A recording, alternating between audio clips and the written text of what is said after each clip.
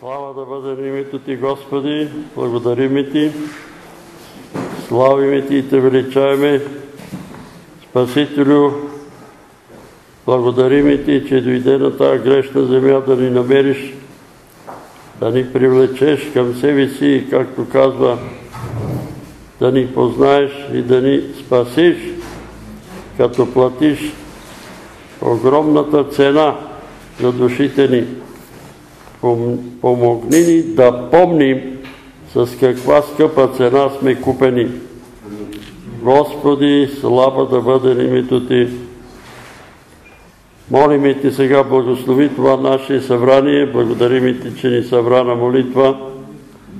Пази ни да не се отклониме нито наляво, нито надясно. Пази ни, Господи, ръководи ни, помагай ни да вървиме по Твоите стъпки. Алилуя! Слава да бъде на името Ти, Господи, привличани към себе си, защото и света тегли Твоите чада и ние виждаме как един по един отпадат и тичат там по различни съблазни изкушения. Молиме Те за тия, които са се отклонили вече там, където са.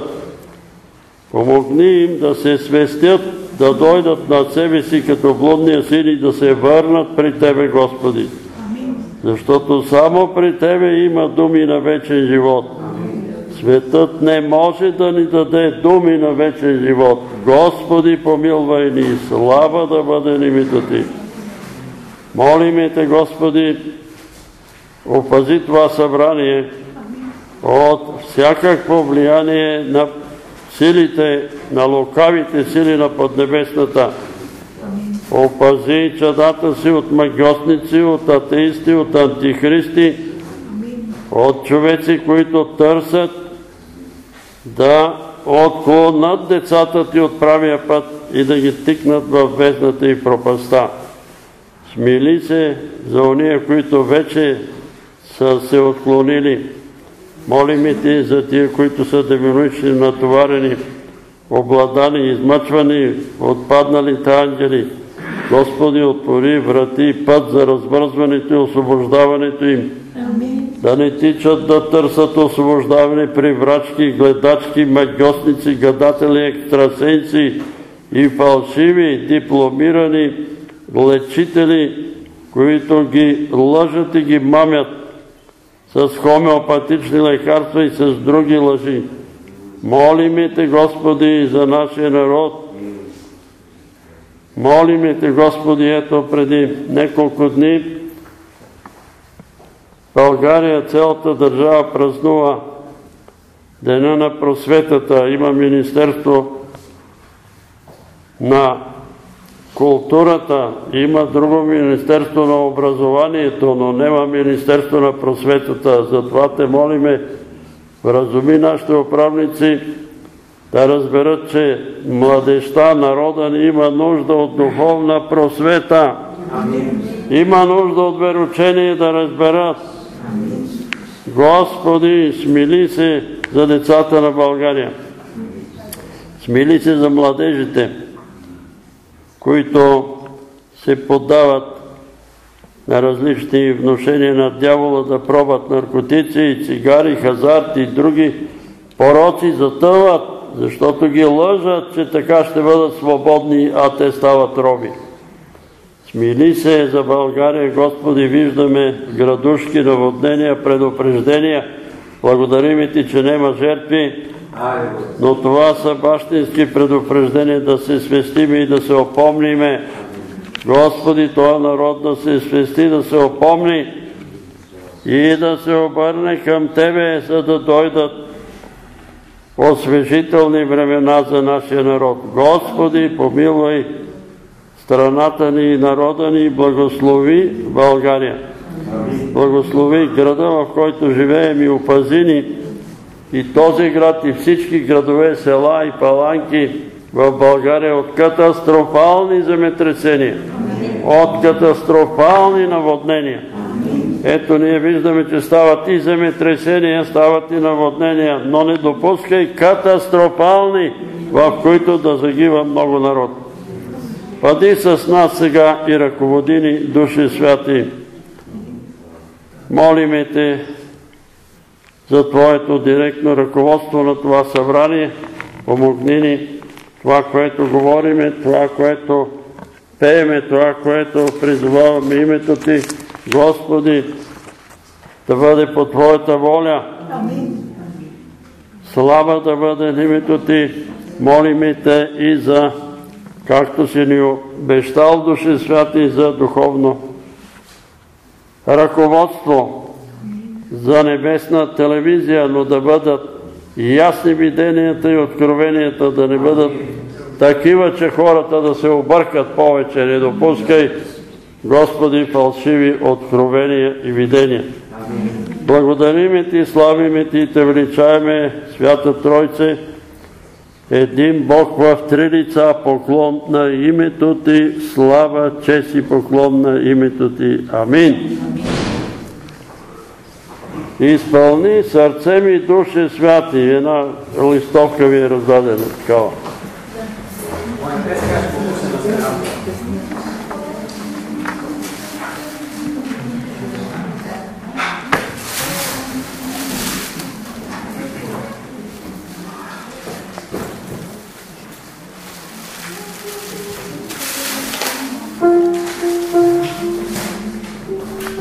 Песен знаеме ли я? Знае Господ. Не, не. Не. Защо сте, разрешавам. защо сте впечатлени? Изпълни сърце ми душа. Ето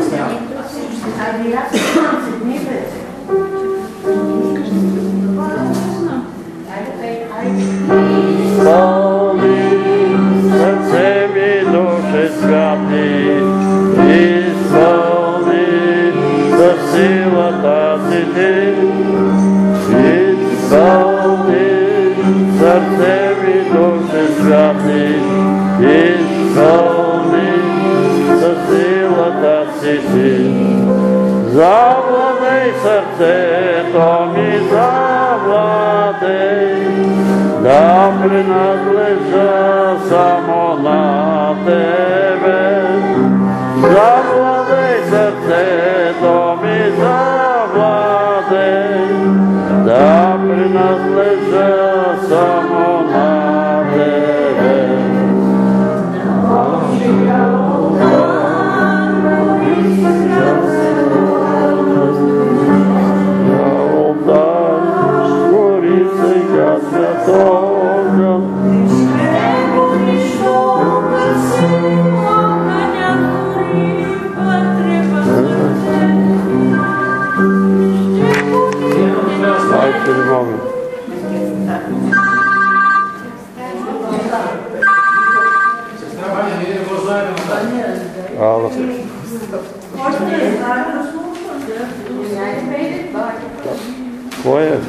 И ти ли си? А?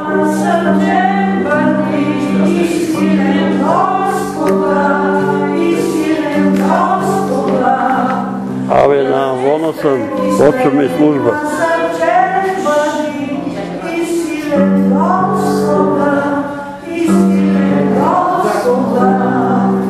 Добре, обади ми се като дойде. Добре? Окей, много здраве.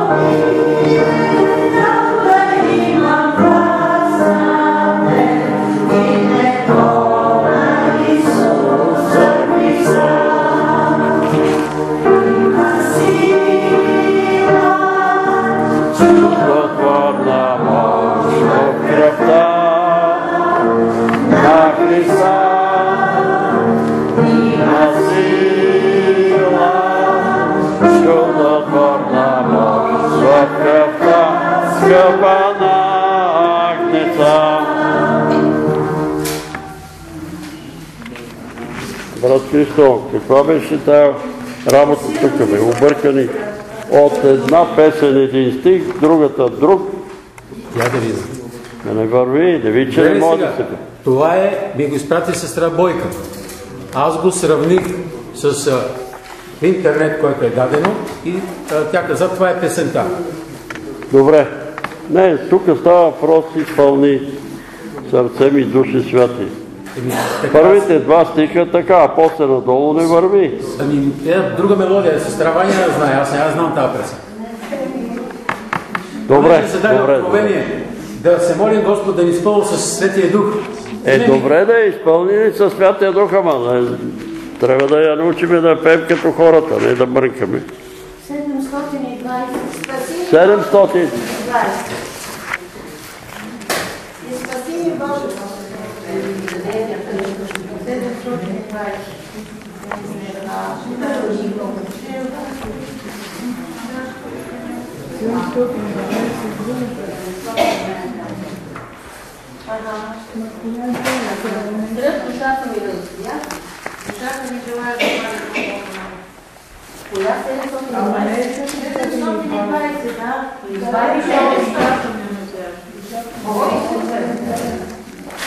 Este es el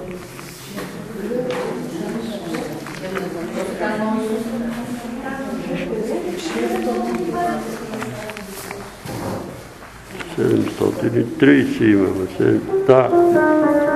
Скръп душата ми разясна. А? Скръп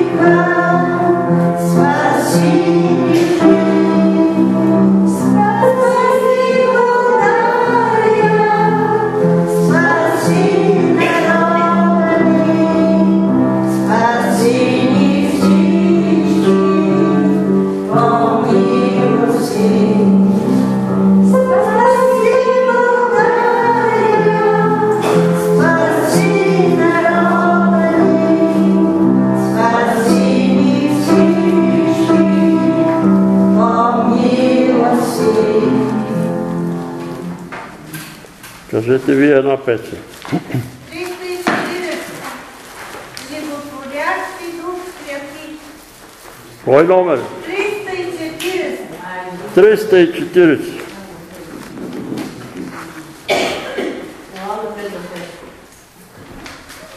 Небесен Бог тела.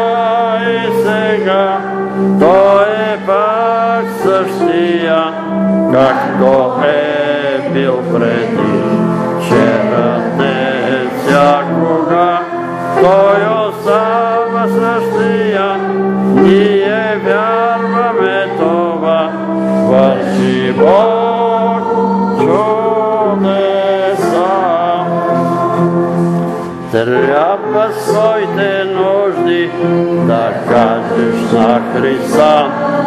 Бо иска в Тебе вяра да има всякога.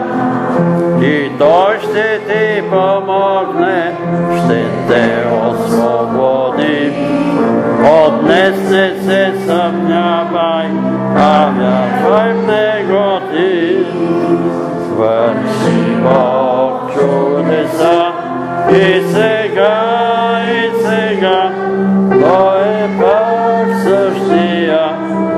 всяко е бил преди вчера, не всякога. Той остава същия, ние вярваме това. Върши Бог чудеса. Искате ли да пееме още или стига толкова?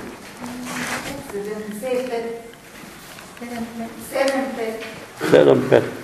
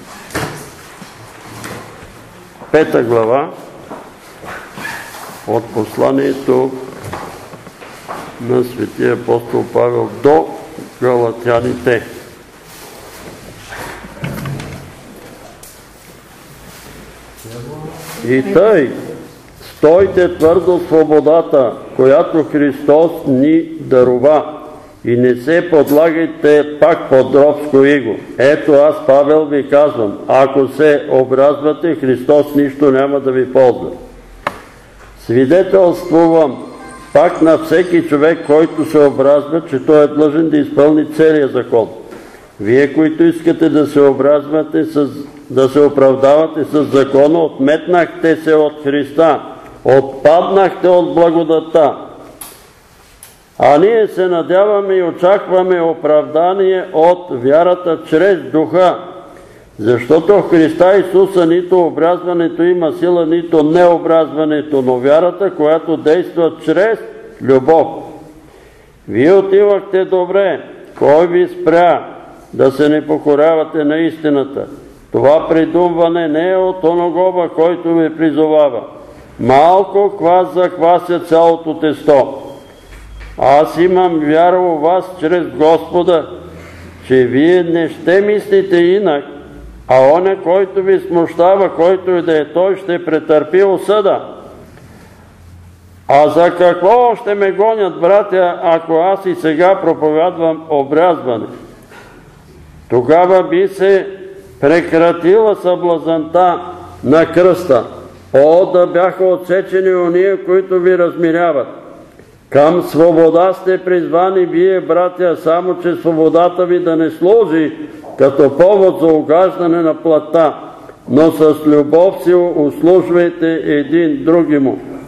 Защото целият закон се изпълнява в една дума, именно в възлюби ближния си като себе си. Ако пък един други се гризете и се ядете, пазете се да не се изтребите един други. Аз казвам, живейте духом и не ще изпълнявате прищепките на плата. Защото плата желая противното на духа, а духът противното на плата. Те се противят един други му, за да не правите онова, що бихте пожелали. Ако се водите по дух, вие не сте под закон.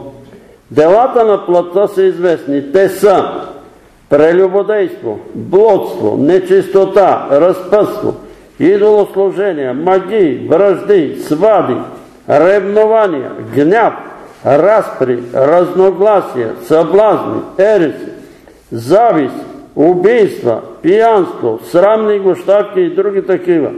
Отнапред ви казвам, както и по-преди ви казах, че които вършат това няма да насладят Царството Божие.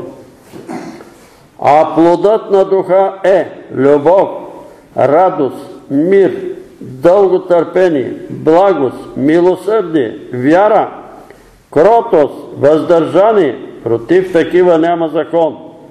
Ония пък, които са Христови, разпнали са плата си с страстите и похотите. Ако живеем духом, по плът сме длъжни и да постъпваме. Да не бъдеме постославни един други, да се не дразним един други му, да си не завиждаме. Амин. Може да седне.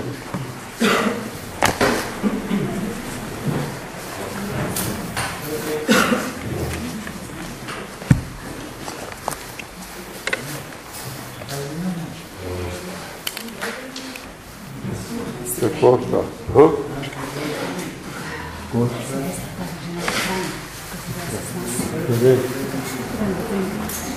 Еми, добре. Еми, ще чака до края, няма как. Така. Стойте твърдо в свободата, която Христос ви дарува и не се подлагайте пак под робско иго. Знаете ли какво означава това? Почти всеки един от нас се старае да пороби некой да го накара да му бъде роб. Това е духа на контрол, който е пръснат по всички църкви, по домовете. Децата искат да контролират родителите. И ги учат какво трябва да направят, как да направят. Извинявате и за израза, но народа казва Сине, дъще, не учи бащата и майката и как се правят деца. До там се стига. Защото те почват да учат. И те да дават акъл. И всеки иска да бъде командир. А тук ни предупреждава апостола, не се поробвайте под робско иго. И тук искам да кажа две думи за младежите, които масово се говори и в училищата, освободете се, бъдете свободни. Не дейте се а, оставя нали, на разни наредби и на разни такива неща. Освободете се и като се освободят, какво става? запалят цигарите, напият се, ето гледате ги, може би ги видехте там пред Александър Невски, какво вилнеят и какво вършат. Е това какво означава? Възпитание Простотия. Пълна простотия. Абитуренти да покажат колко са, какви простаци са. Нарамила уиските едно шише и гълта и цялата гола тук се показва там пред Александър. Вижте ми коя. До там ли я докараха? Това възпитание ли? Не е възпитание, защото имаме Министерство на образованието, ама трябва да се създаде Министерство на възпитанието. Министерство на възпитанието, защото народа ни е затънал и едни други се карат и се бият, жените не се покоряват на мъжете, те са командирки, децата не слушат баща си, по-знаят от него и оттам бъркотията в цялата държава. Онзи ден гледах нещо, той е цар Симеон говори, бе, 39-та година България била на четвърто место в света по стандарт. Четвърто България, 39-та година. Ама нали България е същата, бе, земята е същата. Ама нали хората са същите? Не са същите, господине. Не са същите, господин Сак Коборготски ни беше. Не са същите хората. Хората са били други 39-та година. Всеки си е гледал работа. Децата са имали страх от родителите. Аз не чул, не съм чул от баща ми една думичка да каже за баща си нещо, което е негативно.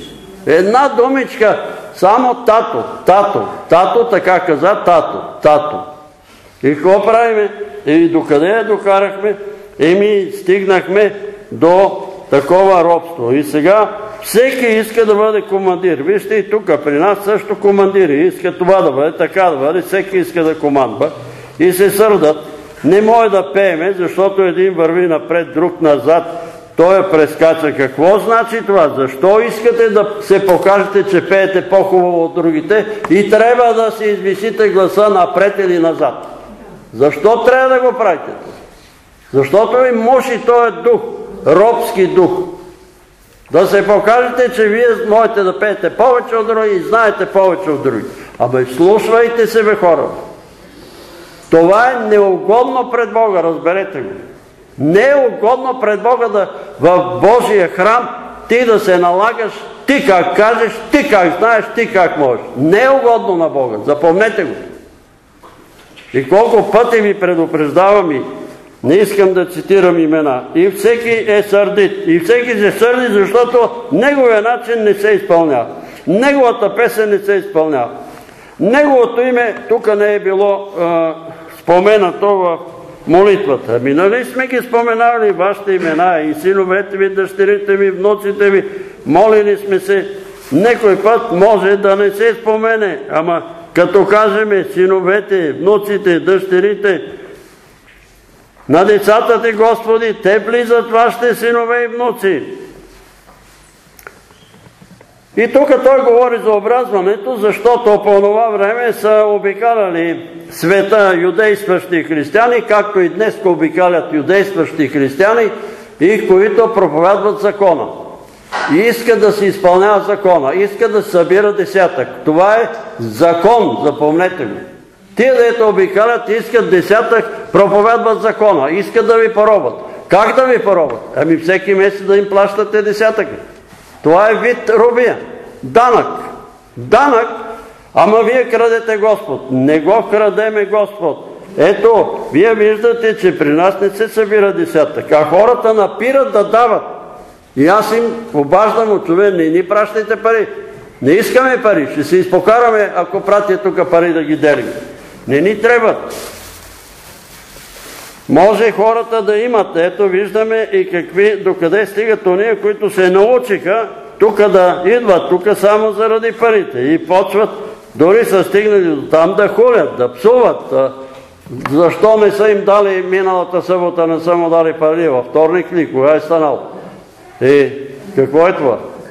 Докъде отиваме? Свидетелствам ви, че който се образва е длъжен да изпълни целия закон. А аз ви казвам, който проповядва даване на десятък е длъжен да изпълни целия закон. Не само десятък, целият закон трябва да изпълни. Това е истината. Защото в Новия Завет има, там Исус казва, нали, това да правите и онова да не вършите, но то се отнася за тех, за уния, които са под закон. И никога аз не съм чул, 50 години съм по църквите, а може би и 60 вече, никъде не съм чул, ходил съм по всички евангелски църкви, некъде да са проповядвали върху тия думи на Евангелието. Симоне, от кого царете събират данъци? От синовете или от чуждите? Мисля, че от чужди. Тогава синовете са свободни. Какво значи свободни? Некой да е чул от вас да се проповядва по някоя евангелска църква. Нема такова нещо. Защото им трябват пари. Защото им трябват пари.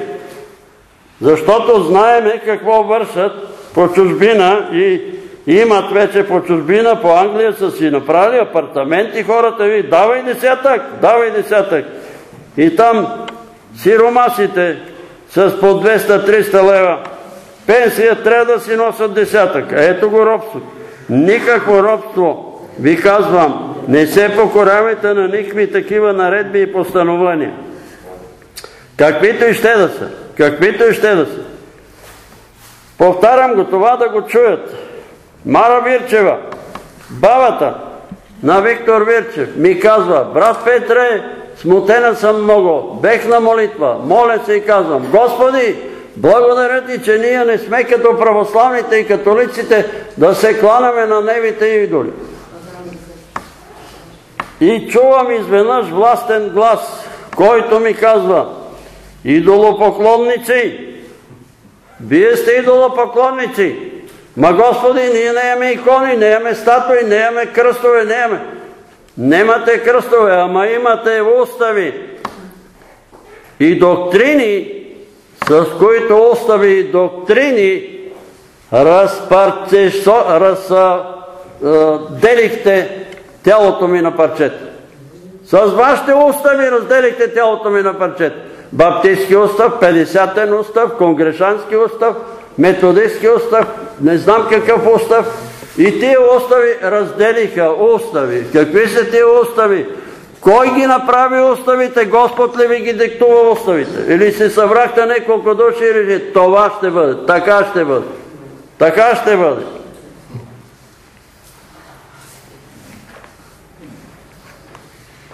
Затова ви казвам, ако разчитате, ето, пускат и такива специални брошури, Енчо Тодоров, нали, братска любов, понеже не може да отидеме сега в Еквадор да я питаме тая, дето го е писала, Исус е казал, че уния, които не дават в десятък, ще се пържат в пада.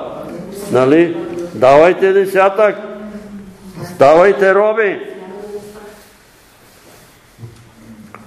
И разбира се, апостола говори за образването и необразването, защото има и много хора между нас, които може да са били образани. Роми, турци, те си имат такъв, нали, обрат, образват ги. Но това няма никакво значение. Дали е образан, дали не е образан, абсолютно никакво значение. Дали е еврей и е образан, никакво значение. Никакво значение няма, защото спасението става чрез вяра. Чрез вяра, но има още нещо зад вярата. Помните ли какво е? Вяра и любов. Защото ако няма любов, вярата става лошо нещо. И малко квас заквасва цялото тесто. А ония, всички ония, които ви се опитват да ви поробят, да знаете, че ще претърпят осъда. Ще бъдат осъдени. Всички, които се опитват да ви контролират. Ще бъдат осъдени, защото вие сте деца на Бога. Вие не сте Иван, Драган, Розалия и еди коя си, еди коя си да те поробат. Вие сте дъщери и синове Божии.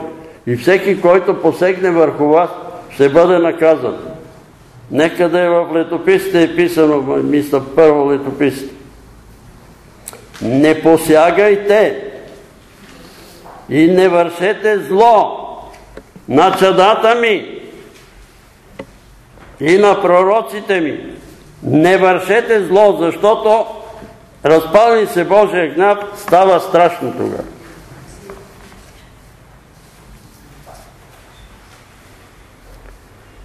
И за какво да ни ругаят и да ни гонат, ако ние изпълняваме всичко, каквото е по закона. За какво ни ругаят? Кой методи от Америка ми се обажда и вика, тук в, в интернет има някакви сайтове или какви дето си изказват мене. А ако знаеш как те кулят, вика, обаче казват, не мога да го търпа това Петър Велев. Не мога да го търпа. Обаче всичко, което каже е истина. Това е писал някакъв. И не мога да го разбера. Православен ли е? Какъв е? Защо ти трябва да бъда православен или кривославен? Какво, какво като си туриш една фамилия, една?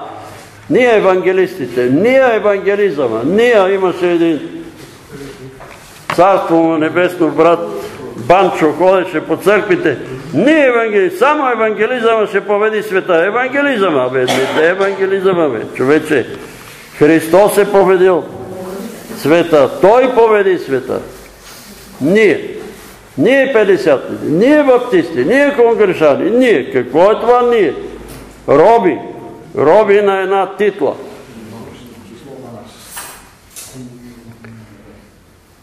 И тук се моли апостола да бъдат отсечени ония, които ви размеряват.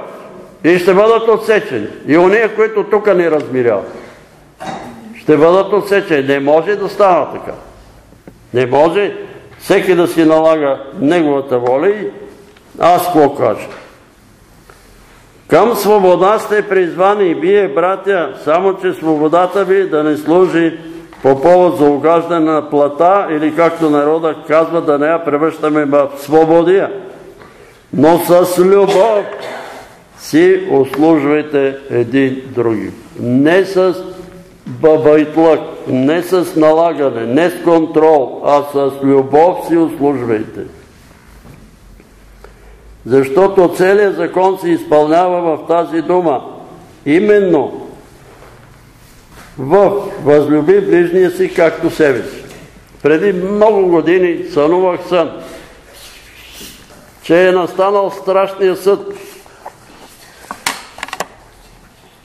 и сме се наредили пред един престол с едни огромни толкова широка книга с такива грамадни корици Съдята стои, излиза пред него първият човек и той пита, колко пъти прочете Библията? И той казва два пъти. Гледа в книгата и казва, мини отясно. Другия казва, пет пъти. Мини отясно. И след това идва един, който казва, Библията съм я прочел повече от 10 пъти. Той поглежда в книгата и казва, а ти мини отляво. Той започва да се съпротивлява, ама чакай, аз знам цели глави от Библията на Исус. А съдята му отговори, един стих да си го научил, един, и да си го изпълнил, щеше да спасиш. Минавай отляво, но той се съпротивляваше, но трябва да ви кажа, че отляво от дясно имаше по един ескалатор. От дясно ескалатора отиваше нагоре, а отляво отиваше надолу. И там имаше по един ангел. Ангел го пана за темето. Тук и го сложи на ескалатора и той замина. Десет пъти човека е прочел Библията и отиде в ада. Защо? Защото не е изпълнил един стих. И този стих е възлюби ближния както себе си. Ако не обичаш ближния си, какво те ползва, че си научил Библията на Изус? Какво те ползва? Идваше и моя ред. Аз току-що бех повярвал. Едва бех прочел един път Библията и я четех ту тук, ту там, но един път знам, че бех я прочел. Викам, леле, то 10 пъти е прочел Библията и не можа да спаси, аз един път съм я прочел, как ще се спасявам? Обаче съдята се обърна нещо с гърб и почна да говори на ангелите и аз, поне съм до масата, надникнах да видя какво пише там тая книга. Но написаното не беше на български, а беше написано на еврейски. Не знам защо. На еврейски беше написано. И аз нищо не можех да разбера. И застанахме, че той се обърна към мен и казва, а ти не ми зададе въпроса колко пъти си прочел Библия. А ти се готви за съд. Теб човеци ще те съдят. Теб човеците ще те съдят. Ти няма да бъдеш съден, но човеците ще съдят. Тръгвай по този коридор. И аз отивам по този коридор и съдебна зала. И в съдебната зала се наредили в един трибунал, аз заставам и почва да ме съдат. И там директора на предприятието, партийния секретар, председател на профкомитета, некъв завеждащ там, не знам какъв беше. И аз си помислих, ами вместо да ме съдат, аз ще ги питам един по един сега, като сте решили да ме съдите, колко пъти сте прочели Библията. И започва от първия, директора. Ти колко пъти си прочел? Не съм я чел. Тук па най-умре. Партийният. Ти колко пъти прочете? Не съм я прочел. Па най-умре. Един по един измрека всички. Една врата се отвори и аз си заминах. Викаме, минах пред съда, слава Богу сега. Разбрахте ли ме? Не се хвалете, че много знаете. Не се хвалете. Изпълнили ли сте този стих? Едничкия. Възлюби ближния като себе си. Ели себе си го обичаме малко повече от ближния. Айде да си сложим ръцете тук на сърцето и кой от вас ще каже, че обича ближния както себе си.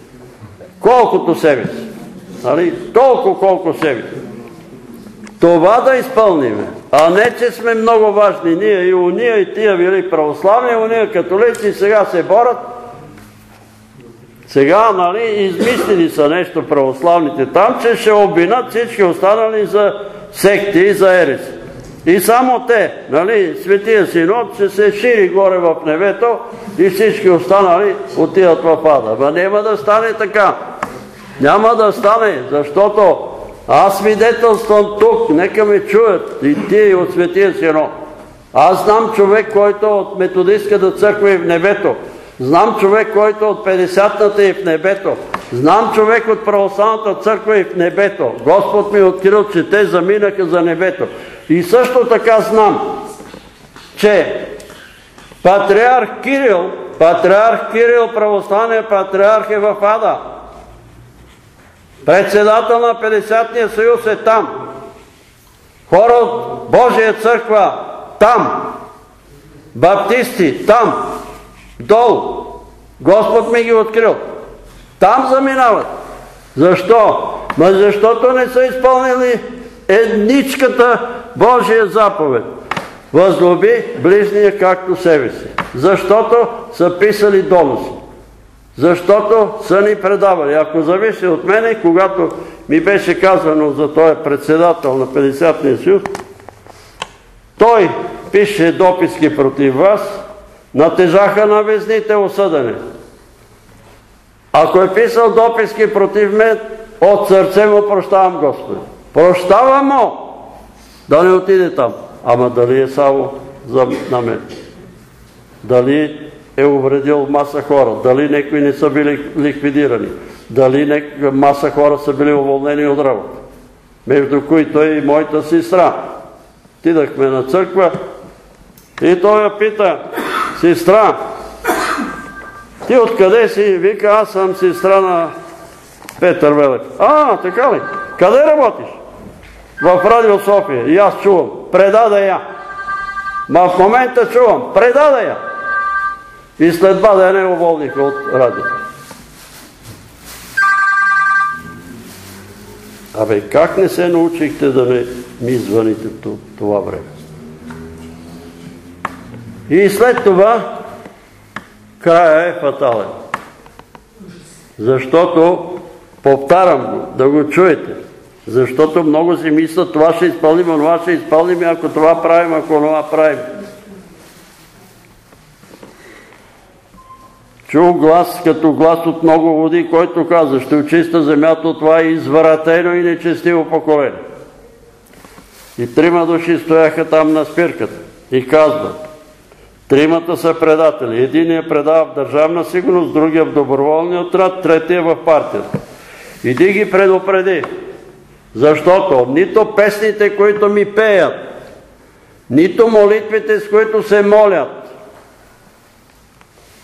нито проповедите, с които проповядват, ще им помогнат съдния ден. Наказанието за предателство е смърт. И аз отидах и ги предупредих. Отида при първи и му казвам, ти предаваш доброволния отряд. Не е точно така, брат Петре. След няколко дни получи инфаркт и умря. Отивам при втория. Ти предаваш държавна сила. Ти ли ще ми говориш, бе? Ти си ходил при баптистите, бе. За тебе имаме информация, че си православен. Абе, аз ти говоря, Господ ти говори, бе, и човек. Спри, защото ще умреш. След един месец заминеш. Отивам при третия. Ти предаваш в партията. Кажи, чуй какво говори Господ за тебе. Нито проповедите, нито песните ти, нито молитвите ти в съдния ден ще те спасат. Наказанието за предателство е смърт. Вярно е, брат Петре. Вярно.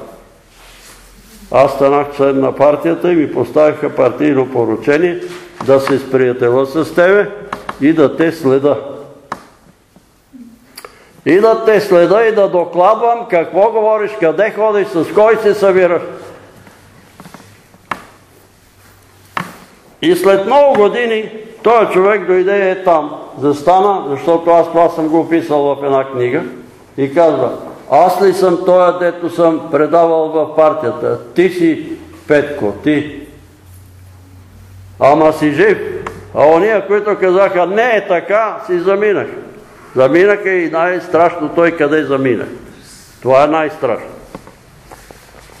Не се покорявайте под робското иго. Четете Словото. Това не значи, че не трябва да четеш. Трябва да се чете, защото като четеме Словото, ние, нали, мислите ни са свързани там с това, което четем. И винаги на мене ми е интересно, където и да отворя Стария Завет, чета и ми е интересно тия събития. Защо? Защото Духа, който е написан Библията е същия и той ни припомня тия неща и си вадиме съответните изводи. Той е цар, вършеше каквото беше угодно на Бога и Бог го държеше и той царува 40 години. Оня не вършеше каквото беше угодно, царува две години и Господ го махна. Така и с нас. Като вършим това, което е угодно на Бога, ще бъдем благословени. Като вършим това, което е неугодно на Бога, ами ще страдаме и ще ядеме бой. И сега надолу какво прищевките на плътта? Живейте духом и не ще изпълнявате прищепките на плата. При мен си идвали млади хора и жени и мъже, които казват, разкъсват ме сексуални бесове, какво да правят. Цяла седмица на църква. Вторник на църква, сряда на църква, четвъртък на църква, петък на църква, неделя на църква и ела след един месец да си поговорим. Идва след един месец и вика, свободен съм, свободна съм. Защо? Защото там църквата почваш да живееш духом. Да живееш духом и се освобождаваш от тия атаки, бесовски атаки. Делата на плата са известни. Те са прелюбодейство, блудство, нечистота, разпъство, да се видиме да ни нема некъде. Идолослужения, магии, връжди, свади, ревнование, гняв, разпри, разногласия, съблазни, ереси, зависти, убийства, пиянства, срамни гощавки и други такива. Отнапред ви казах, както и попреди ви казах, че които вършат това, няма да наследат Царството Божие. Обаче, по евангелските църкви съществува една страшна лъжа. Страшна лъжа, която се проповядва и която се вярва, че тия работи ние може да ги вършим, но кръвта на Сина му Исуса Христа ни очиства от всичките тия грехове. Можеме да си ги вършиме и кръвта на Сина му винаги ни очиства. Днеска прелюбодействаме, утре блустваме, на други ден крадеме, по-натам лъжеме и кръвта на Сина му ни очиства. Така ли? Страшна лъжа. Тая лъжа се проповядва по всички евангелски църкви. Кръвта на сина му ни очиства. Очиства ли, ама я виж какво пише тук апостол Петър. Ако некой, който е вкусил от добрата ръч Божия и от силата на бъдещия век и е познал истината и след това отпаднал, за него беше по-добре да не беше познал истината. Толкова голямо ще бъде осъждението на ония, които са познали истината и са се дръпнали назад. По-добре да не беше познал истината. Апостол Павел пише към римляните, а такива, които вършат тия неща, няма да видят лицето на Бога. И тук го повтаря. А в Евреите, 6 и 10 глава, Да ги намериме. Евреите 6 и 10 глава, какво пишеш там?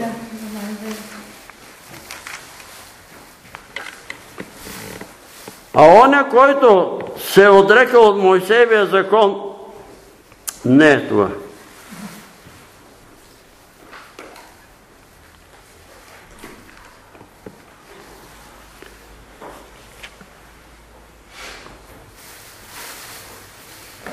Защото ако ние след като познахме истина, своеволно грешим, не остава вече жертва за грехове, а някакво си страшно очакване на съд и яростен огън, който ще погълне противниците. Ако, моля, това е 10 глава, 26 и 27 стих. И надолу, ако оня, който се е отрекал от Моисеевия закон пред двама или трима свидетели, безмилостно се наказва със смърт, колко по-тежко наказание мислите ще заслужи пак оня, който е потъпкал Сина Божия чел за нечиста кръвта на завета, чрез която е осветен и е похулил духа на благодата,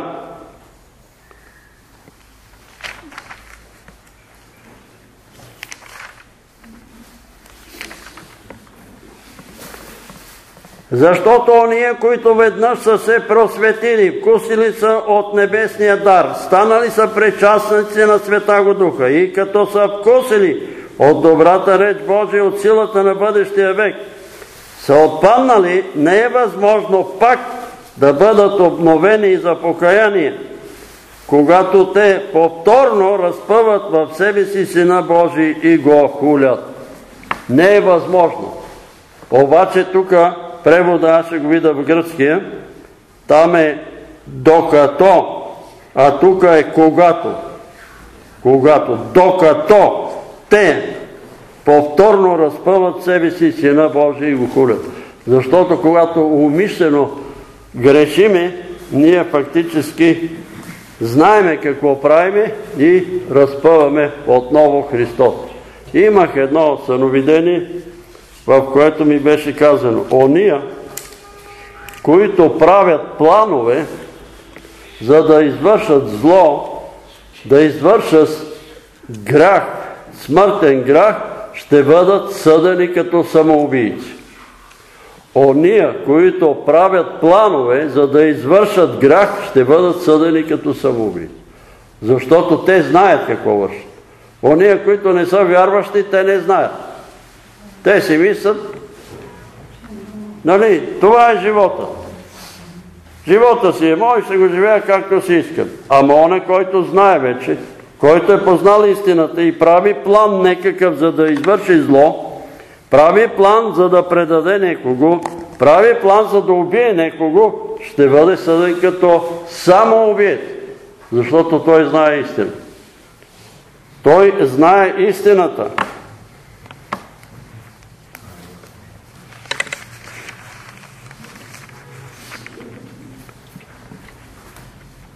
Така, видяхме ги тия неща, че ония, които се гневат, които се препират, които има разногласие и се налагат, които живеят в блудство, в нечистостта, в разпъство, няма да видят небето, лицето на Бога, ако не се покаят, а покаянието означава спиране, оставяне и забравяне на тия грехове. Няма да имат наследство Царството Божие, ще се излъжат, защото такива пастири ги учат не се притеснявай, нема, Бог е любов. Е, голема работа. Сега изневерила си на мъжа. А, изневерила си. Голем, кой не изневерява? Не се притеснявай. Не се притеснявай и се събудиш там, където не трябва. А плодът на духа е любов, радост, мир, дълго търпение, благост, милосърдие. Това са все неща, които Господ ни ги подарява. Всичко е подарък от Бога. Любовта е от Бога, защото Бог е любов. А радостта е от Бога и от Святия Дух. Мира е от Бога. И затова той казва, като влезе в някой дом, казвайте мир на този дом. Има много домове. Миналата седмица бех в един дом. Няма мир там. Няма, защото не слушат. Защото са отишли при някаква брачка в Стара Загора. Много била известна в България, имала си дипломи дипломи да бъде брачка. Тя си има дипломи и си плаща найем. Ама какво правите християни там? Какво правите? Може би е същата. Преди известно време на сестра Роси мъжа дойде дома и казва, ходих вика при тая гледачка там. Как и беше името? Забравих името. Ленче ли беше? Лена. Отивам и я питам да се разведа ли с жена си и да се ожена за комшийка. И тя казва, сега ще питам Исус. И влезна в една стая, вика, какво прави там, излезна от стаята и казва, брате, Исус ми каза, ще питам отец и каквото каже отец, това е. А викам, къде си тръгнал, бе? И какво ти каза? Еми, отец каза, че може да се разведеш и да се ожени за комшик. Е, отец ли е казал? Отец големия рогатия. И се раздели с жена си, не се разведоха, но живеят. И живеят години наред, живееха разделени. Защото акъла на онаята. Врачка. И това са хора в църквата, това не са от света хора. Това са кръстени със Святия Дух. Човек кръстен Святия Дух отива там да пита врачката. И не е само този случай. Не е само този случай. Еми да видиме. Кой има да видите? Ето, Панталей познаваш Иван от Герман. Иван от Герман идва и ми казва, ако имаш две дъщери са станали над 30 години и не могат да се оженят, ще те питам дали няма да еш при гледачка и при урачка. Абе, нема да отида, бе. Абе, нема да отида, бе, човек. Какво ме интересува? Ще видиш.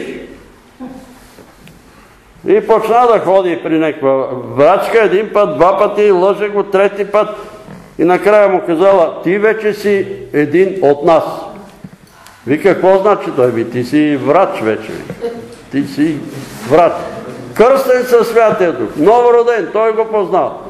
Жена му от 50-та църква. Той от 50-та църква. Къде търсите там при врачките, бе? Какво търсите там, бе, човеци? Ето, магиосници, гадатели, врачки, нема да наследат Божието царство. дълго търпение, благост, милосърдие, вяра, кротост, въздържание. Против такива няма закон. Няма. От тия неща, ако ги има в нас, никакъв закон няма. Никакъв. Не мога да ви... Защо? Еми, ако сме в мир с всички човеци, ако сме в мир с управниците, ако сме в мир с съседи и така нататък, ще има ли проблем? Нема да имаме проблем. А ние си ги създаваме проблемите и после викаме, правят ми магии. Така че плода на духа е, нали, защото някои казват, плодовете на духа са, но тук пише плода на духа е, плода е един. Един. Не са много. Защото вие сте чували, сигурно и аз съм чувал планвоните, казват, има девет плодове на духа. Айде да ги изброим дали са девет.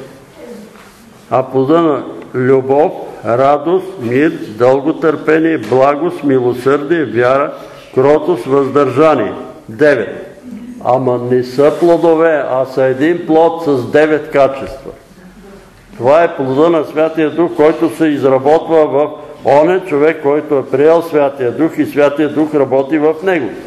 И ако тия неща ги нема, а приказваме, че сме кръстени Святия Дух, а нема нищо от това в нас, какъв Святия Дух? Какво се е превърнал Святия Дух? В какво? В меч, що звънти и кимвал, що дрънки. В това се е превърнал. Ако тия неща ги нема, ако нямаме мир, ако нямаме любов към отхвърлените, към болните, към страдащите, ако няма радост в сърцата ни, ако не можем да търпим, ако не сме милосърдни, ако не сме въздържани, ако не сме кротки, какво значи това? Значи, че мамим себе си. Лъжеме себе си. Лъжеме себе си. Ония пък, които са Христови, растнали са плата с страстите и похотите им. Растнали са я. И всичките тия неща, които четахме отгоре, това са походите и страстите. И ако тия неща се намират у нас, не сме растнали плата, не сме растнали походите, не сме се освободили от страстите. Обаче сами не можем да го направим, защото Исус казва, ако синът ми освободи, ще бъдете наистина свободни. Ще бъдете наистина свободни.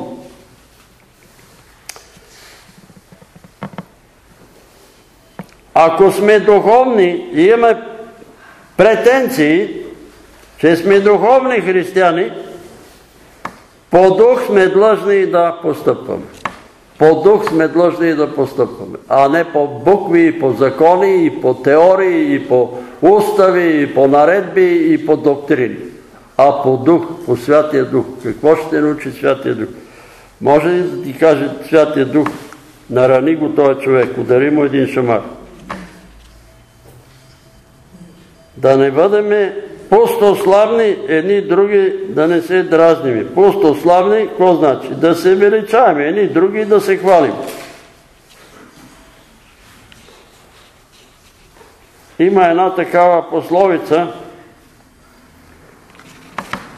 Бил съм свидетел, нали, качи се един некой на вона и брата пастир почва да го величава. Той е такъв, той е от 50 години вярва. Той е основател на този съюз, той е такъв, той е такъв, той е до небесата го величае. И той посва след това пак той да го величае другия. Редно ли е това? Угодно ли е на Бог? Ма не е угодно това. Сега четах сутринта някакво списание там. Величаят се до небесата. Наредили са 20 пастири, един друг се величаят. Какво е това? Какво е това? Некъде е писан. Куче, кога куче величае, го нарича лъв. Не казвам, че тия пастири са кучета. Ама когато кучето величае, другото куче го нарича лъв. И оня се перчи и мисли, че е лъв. Ма защо трябва да се величаете, бе хора? Ама защо като Бог ви знае какво представлявате всеки един от вас? Всеки един знае какво представлява. И се величаем. Вие, може би, чухте тая, тя ще се, може да ми се разсърди, Мария Штрум от Германия. Брат Велев, брат Велев ми е като баща, той ми е като баща. Ба, нема нужда, бе, имаш един баща и той е баща, се нарича Бог. Никой нарича и отец, баща.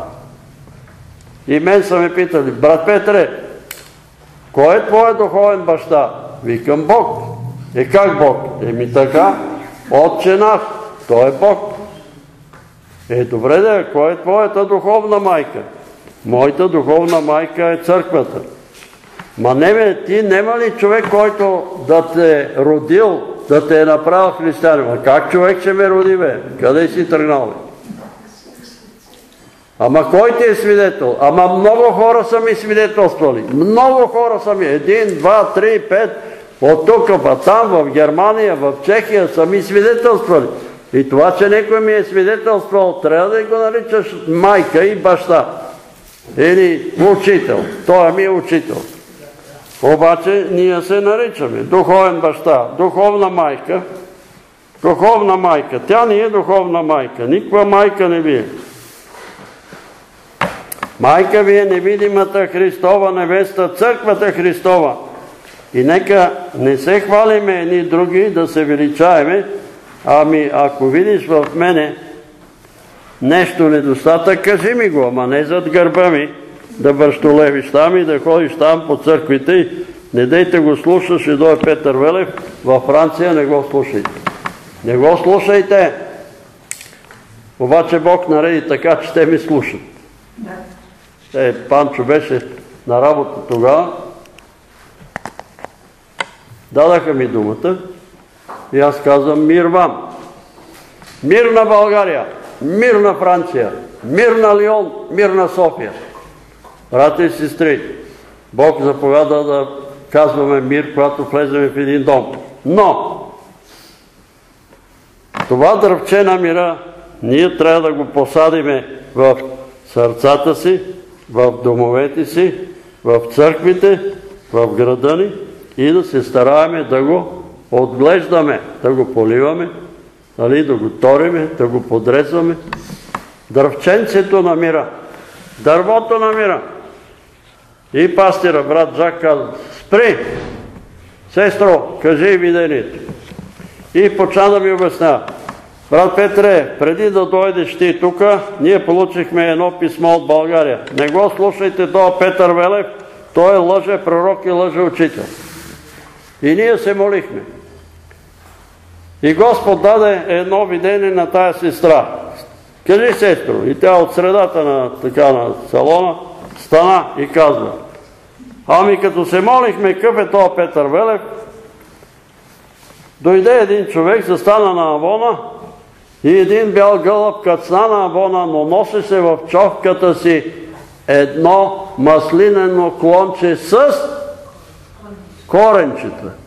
С коренчета. И този човек ме прегърна, Раджак. Говори, брат Петре, ето Господ свидетелства за тебе, че не си такъв какъвто пишат и които представят и които говорят против теб. Нека да си говорят. Кой каквото иска да говори, а и тук казва апостол Павел, горко ни, не апостол Павел, Исус казва в пета глава, горко ви, ако всички човеци казват, че сте добри. Пета глава от Матея. Горко ви, ако всички човеци кажат, че сте добри. Защото така говореха за лъже пророците. Така говорят за лъже пророците. Радвайте се, когато започнат да говорят за името, ти, името ви, че вашето име е лошо, защото така говореха за пророците, които беха против вас. Че вашето име е лошо. Кога ще говорят? Когато ги изобличаваш. Те ще кажат, той е лош. Той човек е лош.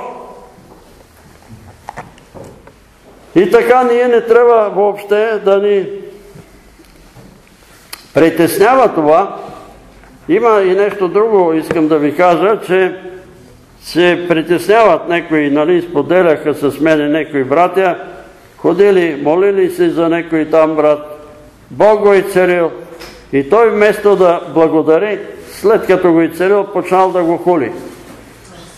И му казвам, брате, ако изтърпиш, получаваш двойна награда. Първата награда, че си постил и се молил за този човек да оздравее и никой не знае. И втората е, че вместо благодарност получаваш ругатни. Ако изтърпиш, но ако не изтърпиш и одиш да се разправяш с него, ще загубиш награда. Ще загубиш награда.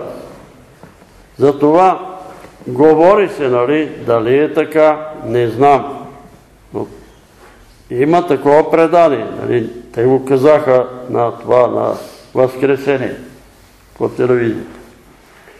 Онзи болен от 38 години, който оздравя Бог го и цари при капалната Витезда, станал слуга на първосвещеник.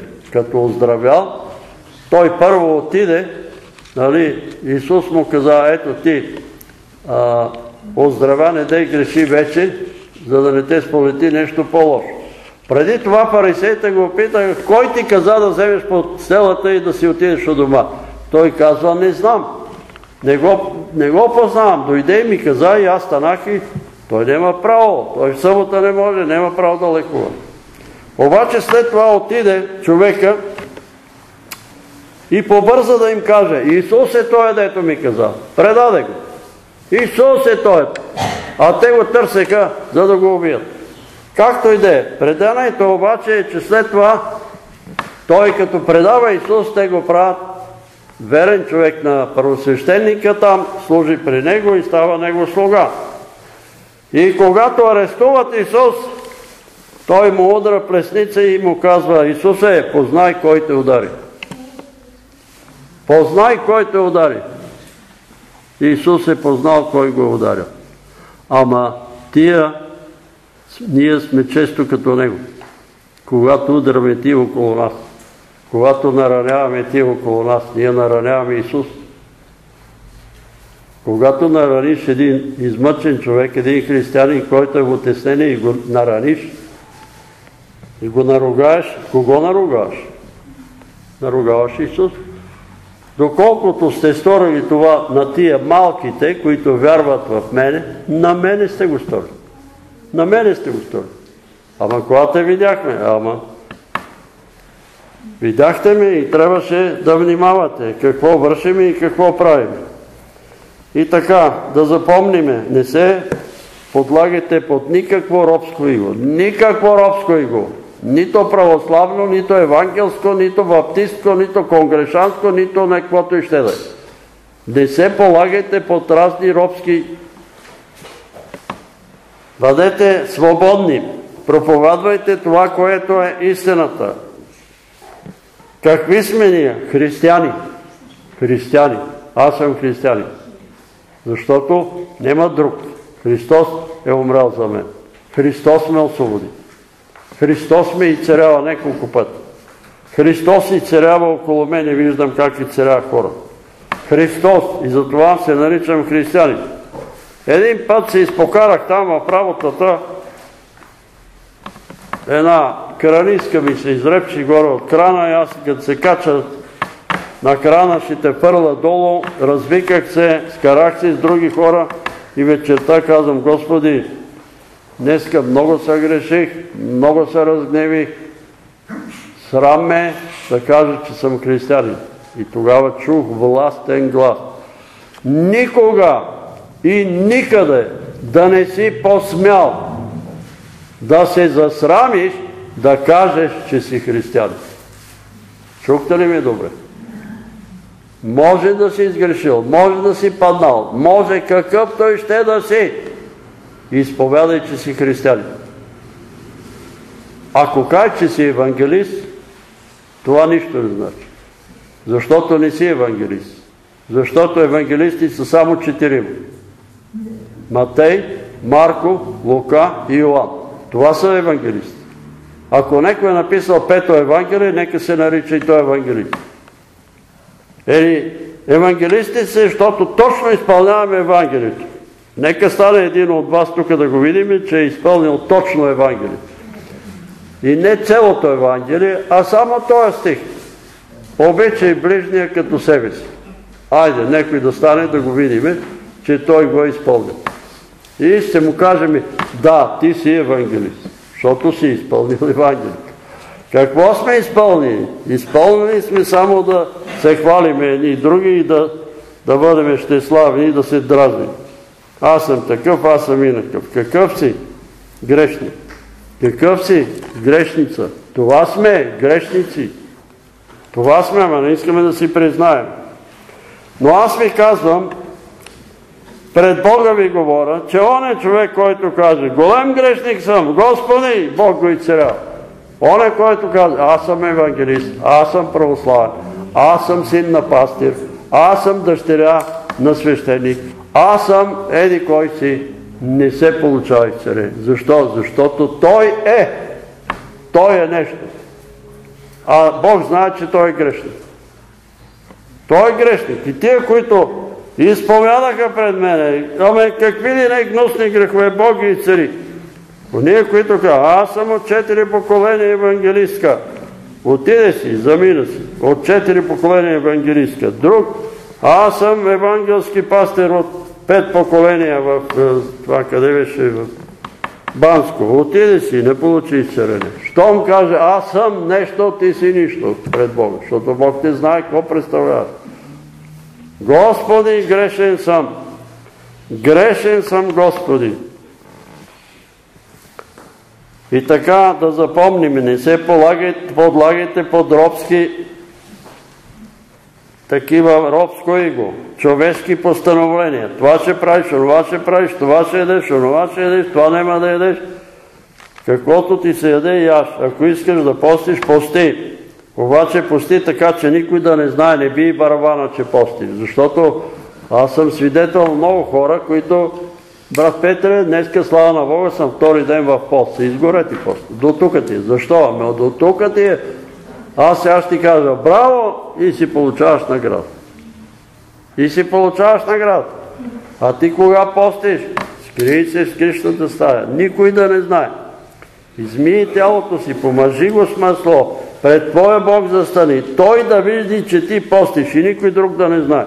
Тогава, тогава, иначе Ама верижен пост. Какво значи верижен пост? Нема нищо против в едно семейство да има верижен пост или в една малка група, но ако вие от този верижен пост дойдете тук и кажете ние сме сега в верижен пост, спрете го, няма да има ефект, защото вече сте се похвалили. Вече сте се похвалили, че правите верижен пост. Сега ние ще се молим за големо съживление. Сега ги чета там в някакво списание на 50-тия съюз, очаква се страшно големо съживление в България. Некъв американец дошъл тук 93-4 година и казва, България ще бъде 7 пъти по-духовна от всички държави в света. Вие вярвате ли? Не го вярвам. Седем пъти по-духовни. Колко сме ние тук? Знаете ли по другите църкви колко са хората? В този двумилионен град. Двумилионен град. Седем пъти ще бъдем по-духовни. И ние какво е това? Ами щеславие. Той е дошъл от Америка и все и ние, е, слава на Бога, да, и сега ще го слушаме. Той е американец, щом ние ще бъдем седем пъти по-духовни. Ще бъдем по-духовни от другите. А като идеме там, другите виждаме къде сме. На опашката. Защо? Защото така пише в Второзаконие. Ако слушаш гласа на Господа Твоя Бог и вършиш това, което угодно немо, това също го пише и в летописите. Какво ще стане? И ако започнеш и се смириш, и започнеш да се молиш, и се върнеш от лошите си пътища, тогава ще простя греховете ти и ще и цара земята. Тогава, българино, тогава, тогава, Ваше Величество, цар Симеон, Ами хората са същите. Не са същите. Не са същите, защото аз ги помна преди 60-70 години какви беха хората. Живеехме в квартал Левски. Никой не си заключваше вратата. Никой не си заключваше. Аз може да отида у съседите, да влезна вътре. Ето, аз съм на работа по-късно, нали вече преди на 20 години. Дошли въглищата и комшиите влезнали, отворили там а, мазето, бараката, вкарали въглищата, наредили ги там въглища, защото идва облак, дъжд. Това сега ще го направи някой. О, изобщо ще, ти, ще си погледне и ще замине и няма да... Видял съм на село какво правят. Идва дъжд. Цялото село махлата тича, за да може някой човек, ако върше, нали, да приберат житото, да приберат сламата. Помагат се един на друг. Сега не се познава. На една ограда не се познава. Кой си ти, бе? Какъв си, бе? Една ограда ни ти. Съвсем други са хората. Това е, да, ще дойде върху България благословение. Тогава. Тогава, когато нашия народ се смири, ама първо християните трябва да се смирим, а ние сме навирили глави и искаме да командваме целия свят. Ама не ни е дадено да командваме. Ние трябва да се смириме, християните, да дадем пример за смирение. И като се смириме, и народа ще се смирява, и когато този народ почне да се моли и се върне от лошите си пътища, и всеки се върне от лошия си път. Един има един път лош, друг краде, друг лъже, друг прави далавери. Друг се занимава с други неща. Продава забранени неща и така нататък. И когато се върнем от тия лоши пътища, Бог ще благослови земята ни. Тогава ще я очисти, ще я освети, ще я благослови. Докато живееме в греха, в делата на плата, това, което се върши, е, не може да има благословение. Ще има градушки, ще има наводнения, ще има земетресения. Ще има. Една сестра ми се обажда, брат Петре, страх ме да го кажа, каза ми се, че над България надвиснало страшно бедствие и България ще бъде опустошена. Дано да не е от Бога. Не, аз не го приемам. И България ще престане да съществува. На 24 май съобщиха, че 15 милиона по лицето на земята говорят български язик. 15 милиона. Как са го изчислили, не знам. Некъв град Каназаха или Илинойс ли, щат, некакъв щат в Америка, хората се обслужват там на български язик. Толкова много българи има там, че се обслужват на българи. В Чикаго президента каза са над 350 хиляди българи. България лека по лека се изнася. Какво трябва да се прави? Покаяние. Връщане от лошите пътища. Това е. Това е спасение. И упование и вяра в Бога. И далече от фарисейския квас. Малко квас заквасва голямо тесто. А Исус казва, преди всичко, преди всичко се пазете от фарисейския квас, който е лицемерие. Аз съм евангелист, аз съм православен, аз съм еди кой си. Какво като си? Какво е това? Квас. Квас. Лицемерие. Преди всичко се пазете от плой. Благодаря ти, Господи, че не съм като другите човеци. Като кои други бе човек? Ако той фарисейн беше ги споменал като кои или некой да го беше попитал, или там свещеника да беше го попитал, като влиза в храма, Боже, благодаря ти, че не съм като другите човек. Като кои други бе? Като Моисей, като Исус Навин, като Калев, като Гедеон, като кои? Като кои си ти? Ами като другите, те са такива езичници, блудници и прелюбодейци. И като той е митър. А митъра, прости ми Господи, прости ми на мене грешник. И какво каза Исус фарисейна? Отиде ли си освободен? Не, не си отиде. И какво каза Исус на учениците? Ако вашата правда не надмине правдата на книжниците и фарисеите, няма да влезете в небесното царство. Това си запомнете за довиждане. Ако нашата правда не надмине правдата на лицемерите, на фарисеите и на книжниците и на теоретиците на християнството, няма да видим лицето на Бога. Нашата правда трябва да надмине тяхната правда на тия професори и философи. Какво Бойке?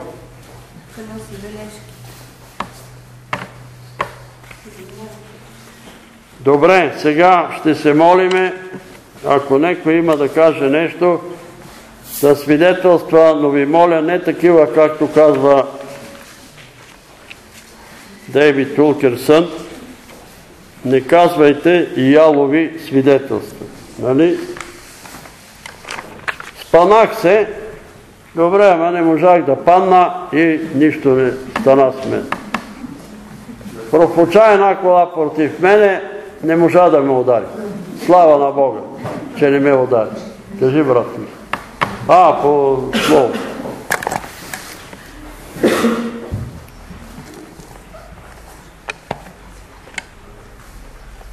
17 стих.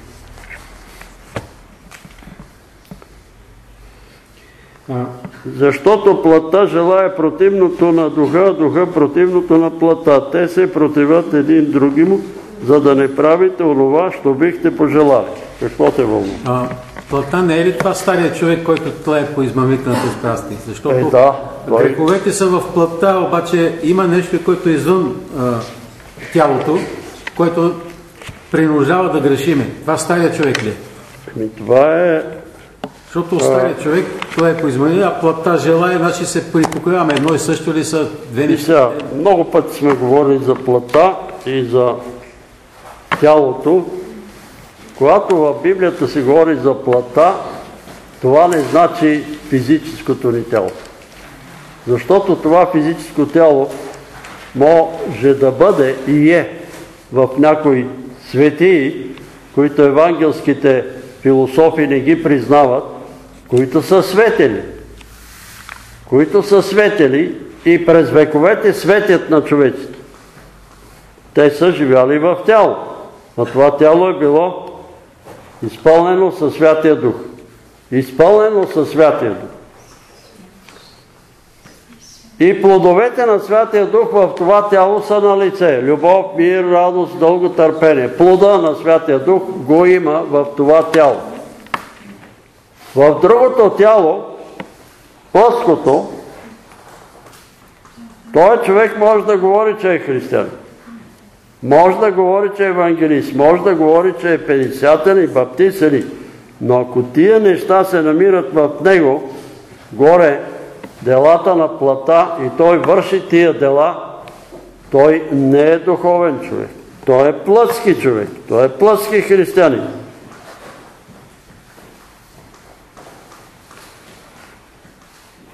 Прелюбодейство, блудство, нечистота, разпъство, идолослужение, занимание с а, маги, с вражди, вражди едни, други се карат, комшии се карат, роднини, приятели, карат се си изпотрепат. Участват в сбивания, в свади, в ревнования, гневат, разногласия, завиждат, напиват се, участват в банкети, срамни гощавки и други такива. Тия хора, ако и да се наричат християни, те са плътски християни. Те са плътски християни. Защото духа на плътта е в тях. Доминиращ. Доминиращ е духа на плътта. Независимо как се нарича. Други може да не се наричат християни, да не се наричат праведни, евангелисти, петдесятни, баптисти, православни, но в тех да се вижда, да го има този плод. Любов, радост, мир, дълготърпение, благост, милосърдие, кротост, въздържание, вяра. Има ги тия неща. Без да парадира, че е нещо. Ама тия неща ги има. Този човек е духовен. Това е духовният човек. И един има физическо тяло, и други има физическо тяло. Нали? И духовно има физическо тяло, и плътския има физическо тяло. Само, че в единия работи Святия Дух и е изработил този плод, а в другия работи Светския Дух, блудническия дух и той е изработил тия плодове на, на плата. Защото много хора разбират по плата физиката, нали, тялото, нали. Тялото може да бъде осветено и тялото може да бъде покварено, да е умърсено и покварено. Зависи от нашето поведение. Разбрали ме, брат Христо, или не съм ясен? И сега си в превода може. Плата и физиката не е едно и също. Плътският дух, има такъв плътски дух, който кара човека да върши безобразие. А въпросът е защо се противат. Ами противат се. Например, лакомията също е такъв дух. И ти решаваш утре да бъдеш в пост. Обаче не може, защото плътският дух казва, ще умреш от глад. Как така ще постиш? Ти ще умреш от глад, ако постиш. Ставаш сутринта и казваш, еми не мога Господи да поста, трябва да си хапна. А имаш пред себе си неква, поставил си си неква по-сериозна задача, нали, сериозен проблем да поставиш пред Бога в молитва. Или друго, сега ние виждаме, ние се молим за хора, които са били обладани от наркотици, били са обладани от или пушат цигари, или от алкохолизъм, или нещо друго. Те са вързани. В тех вече той тук ги държи вързани за плътта. И те докато не ги освободи Исус, те са вързани с веригите на мрака. Те са вързани за алкохола, те са вързани за цигарите, те са вързани за наркотиците и трябва да бъдат освободени. Техното тяло да бъде освободено от този дух, плътски дух, защото това е плътския дух. Пиянството, разврата, това е. И всеки трябва сам за себе си да прецени свободен ли е. Свободен ли съм от тия неща, които ги изброява апостол? Свободен ли съм от тия неща? Или съм вързан? И ако некъде е вързан, трябва да дойде, да седне тук отпред, да каже, вързан съм за еди какво си. Не мога да се освобода. Не мога да се освобода. Но има условия за да бъде освободен. И едно от условията е да не осъжда ония, които са вързани като него. Да не ги осъжда. А много често ние ги съдим. Съдиме ги и казваме, ето, нали, аз съм свободен, а па той еди какво си прави, имаше един брат, царство му небесно, той е покойник, дойде, беше над 80 години, дома и каза, брат Петре, срам не срам, трябва да ти кажа, че ме въртат сексуални демони, вика. Аз имам жена, имам внуци и ме въртат сексуални демони. И аз го питам. Осъждаш ли тия, които ходят разголени момичета? О, ако имам власт, вика, всичките ще ги ще светнат. Ще ги прата да копат, вика, там в мините, да им дойда акъла. Ама ти осъждаш ли ги, че се разголват? Ами осъждам ги, ами за това те е нападнал такъв дух. Е, защо? Ами, за да разбереш, че те ги върти същия дух. И вместо да се молиш за тех, ти ги осъждаш. И за това те нападат. Затова те нападат. Какъв е този дух? Ами плътски дух. Духа на плътта, която реагира по този начин. Добре, кажи, брат Христо, има да допълниш нещо. Няма да допълвам само в 22 стих плодът на духа, тук в този превод е написано с малка буква, а от проповедта разбира, че това е плода на Светия Божи дух и трябва да е с буква. Е, с главна буква Това трябва. е една подробност, буквализирана, но все пак да се спомене. Е, ма да, трябва и плодът на Святия Дух в нас, а не плода на човешкия дух. След като идва Святия Дух в нас, сега искам да ви кажа, че Святия Дух идва не когато почваме да говорим на езици. Святия Дух идва когато те накара да си замислиш, когато ти каже не пипай, това е чуждо. И той почва да те води, да те доведе до покаяние. И той ти дава дух на покаяние. Защото без него ние не можем да се покаем. Без Святия Дух не може да се покая. И той те учи какво да правиш. И е различно от кръщението със Святия Дух. Защото кръщението с Святия Дух е за служение. Запомнете го това. Това не е за спасение. А Святия Дух изработва всичко в нас. От повярването, от това. Ао, имало Господ. Има Бог. Нали идва един момент, когато ти ще викнеш, ще, ще се убедиш, ще кажеш, има Господ. Леле, къде се намирам? Леле, какво, как, представлявам? И напада и страх от Бога и така нататък. И Той изработва, и Той ни води, и Той ни учи. И много хора казват, абе същия съм си преди 50 години, не си същия, ти не виждаш промяна. Тя става в тебе, тя става тая промяна. Не си същия, ти си мислиш, че си същия. Ама Святия Дух действа, работи. И е жалко за това, че ето по 20, по 50 години хората ходят на църква и нямат мир. Нямат любов, нямат търпение. Готови са да се бият, да се карат, да се налагат, да командват. Защо го нямат? Ами защото не са оставили Святия Дух да изработи плода на Духа. Те искат те да го изработят, те да го направят. Те, те да направят това, което те знаят и те разбират. И нямат мир. Много хора са ми казвали преди, може би, два-три дена една страна брат Петре, чудо ти се на търпение. Ами Господ ми дава търпение. Той го дава. Идват хора да ме дразнат, обаждат се по телефона, заплашват ме, не знам ко, обаче аз имам мир. Защо? Защото знам, че Господ ме пази. Господ е с мене и техните заплахи нищо не струват. Нищо! Пет пари не струват. Ти ще видиш. Нема какво да виждам. Аз съм видял. Ти трябва да видиш. Знаете каза, на 30 октомври всека година. Сега ще умреш на 16 октомври. Нема да умра на 16.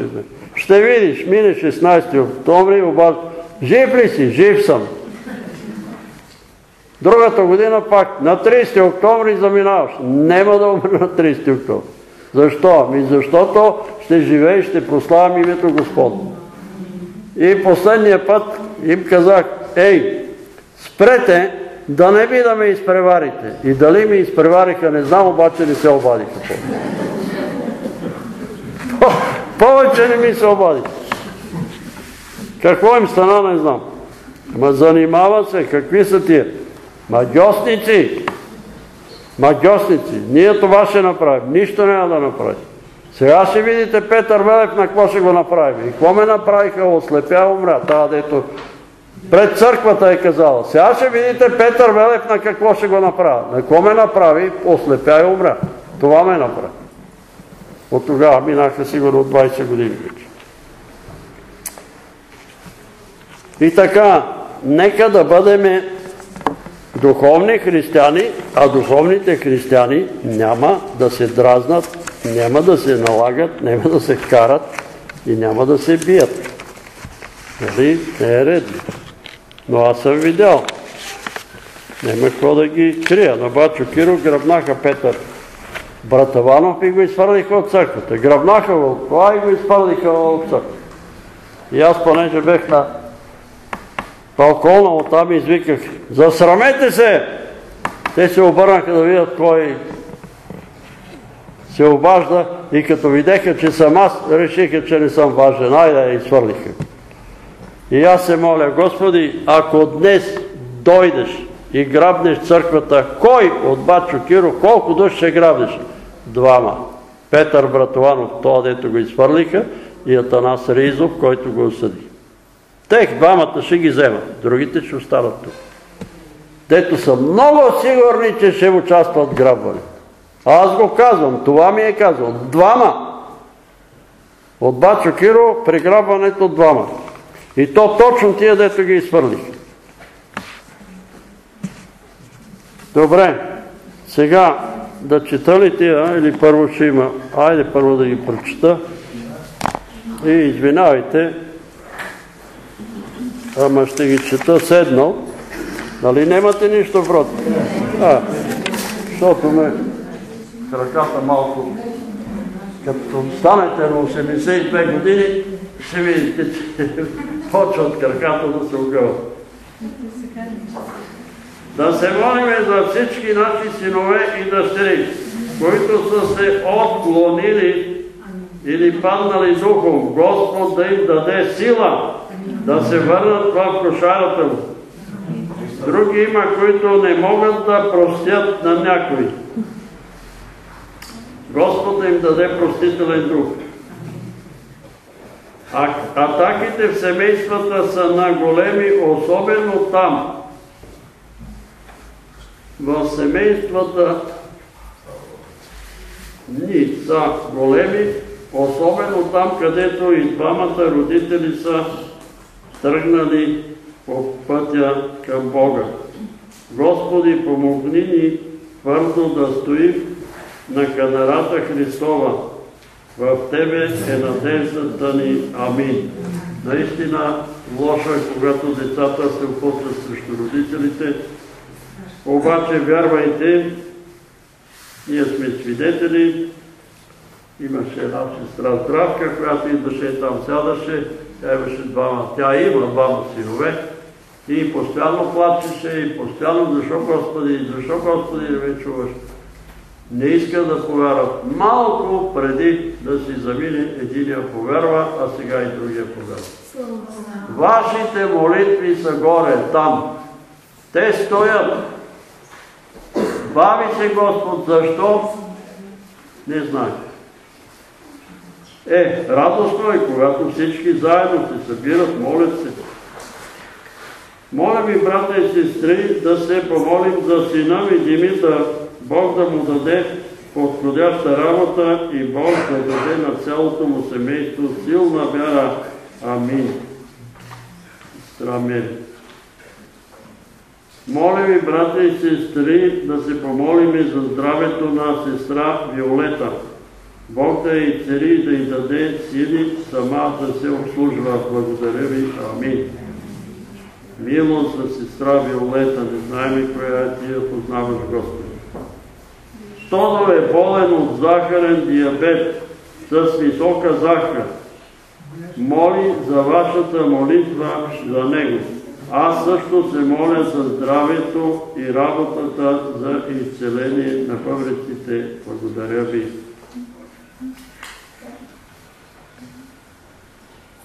Теодора и Павел, молитва за здраве и за защита. Амин. Знае ли някой какво става с Павел? Никой не знае нищо. Да се помолим за добри изследвания на майка ми. Да се помолим за нашите деца за покаяние, Николай Митко. Да се помолиме за успешна операция. Амин. Брати и сестри, подкрепете ми молитва за изцеление. Мен, сестра Верка и моя близка лекарка, които сме с проблеми от съдов характер, разширени вени и други подобни. Вярваме в Божията сила и милост. Благодариме Ти, Боже. Амин. Ще се молим за сестра Верка и лекарката и за покаяние Златка от Бургас, болна е на легло от диабет и високо кръвно налягане. Милост Господи за сестра Златка от покаяние.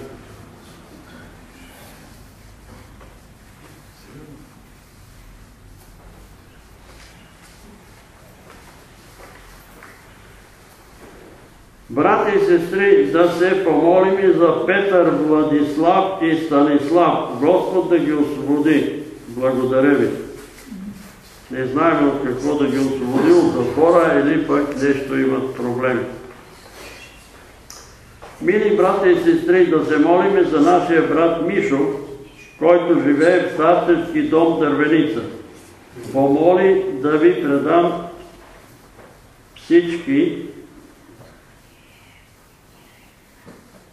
всички ние от църквата да молим Господ за изцеление на сърцето му и нормализиране кръвното му. И за Оляна, която е болна от мултиплена склероза. Жив труп е Господ да покаже милост към всички в този и не само този старчески дом. Бъдете благословени брат Мишо, дето от време на време идваше да проповядва. Да, да. Некой ме питаше скоро за него, ето старчески доме. Имам болки в ставите и костите на двата крака. Да ходя, ходя, но да слизам и се качвам от бюрдюра или рейса трудно. Имам болки и съм скована.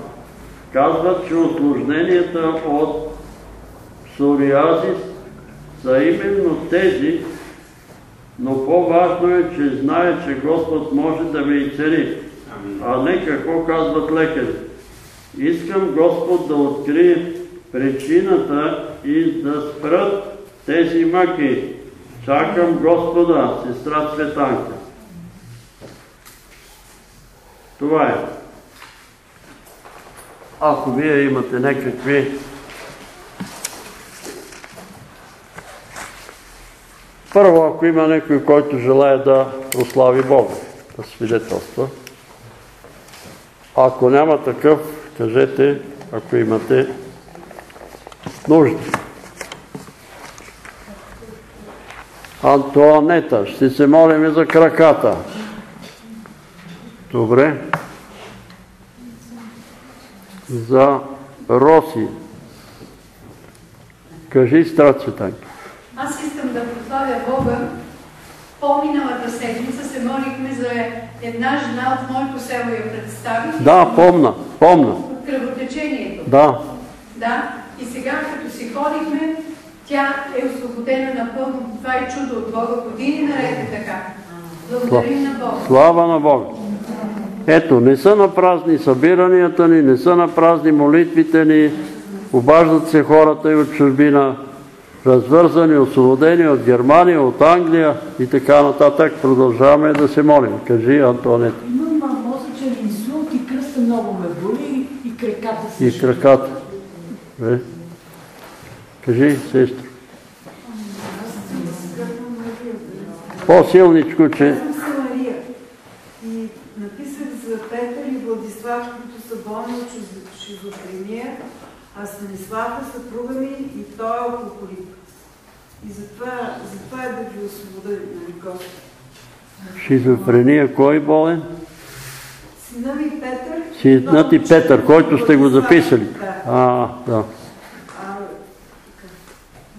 Ами, трябва покаяние по мирния договор, за да е шизофренията е дух.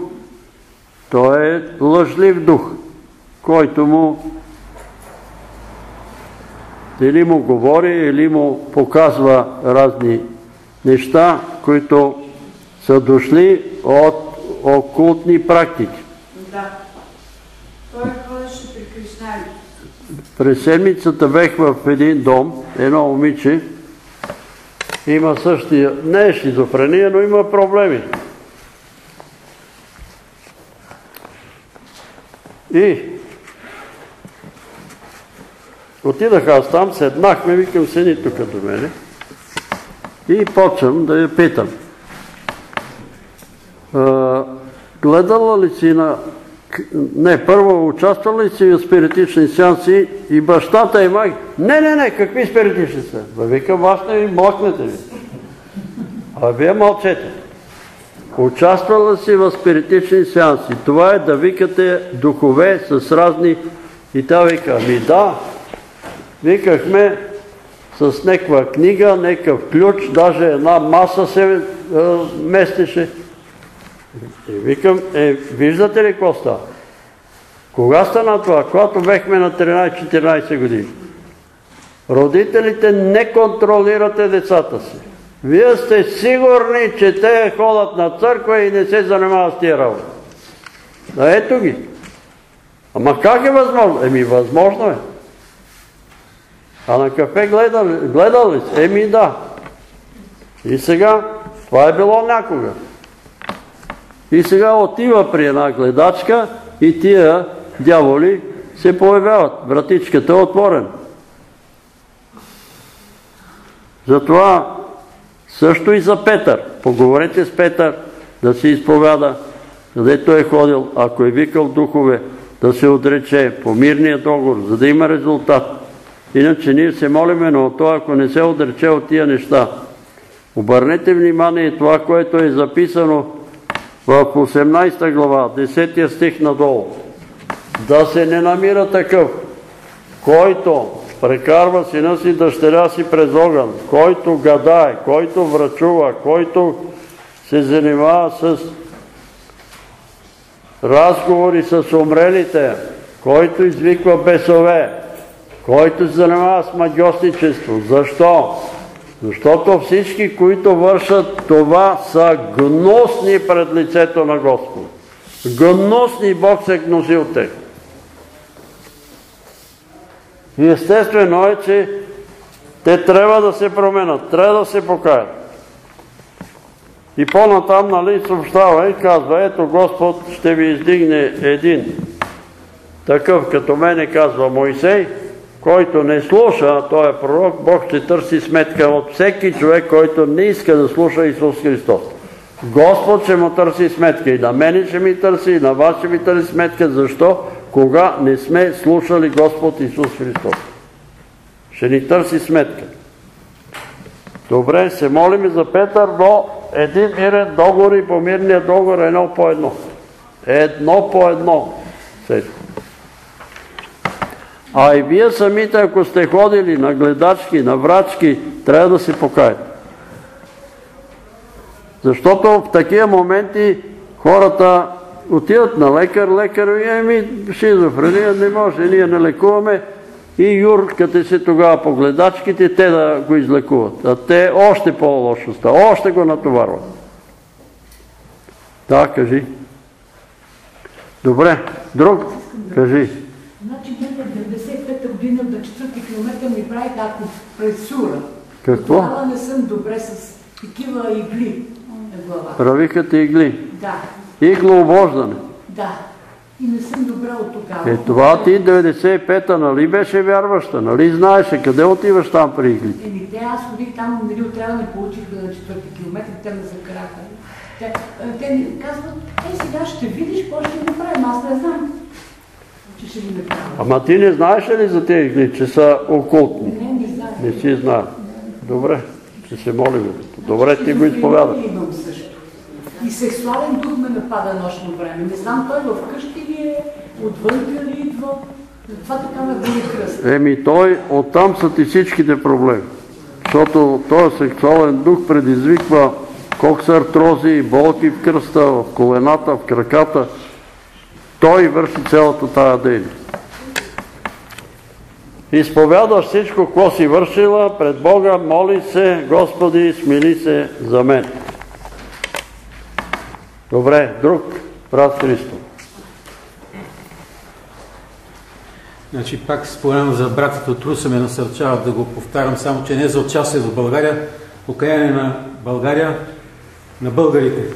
Това го представям не да се молят хората, го представям пред Бога, защото не мога никой да задължавам да се моли за проблеми, които аз поставям или при тебе да задължавам. Просто го представям пред Бога. За покаяние на страната и народа ни, за защита на сиромасите от нечестиви човеци, защото много нечестиви човеци се навъдиха, за Господ да покаже милост за труда на ръцете на тия селскостопански работници, защото много поглъщатели има. Под земята, по земята, гаселица навсекъде пълзат и във въздуха също. Покаже милост да има, пак ще го повторя, пред Бога го представям, никого не задължавам, да има хляб за сиромасите, зеленчуци и плодове. А по богатите Амин. няма да ги мисля. Те са за покаяние. Моите проблеми, Господ ги знае, имам някакви пак такива и аз болки в краката. Господа, Амин. е причината да му уди. голяма популация се е появило, съобщиха, на змии в България. Появили се змии по площадите, влизат в колите.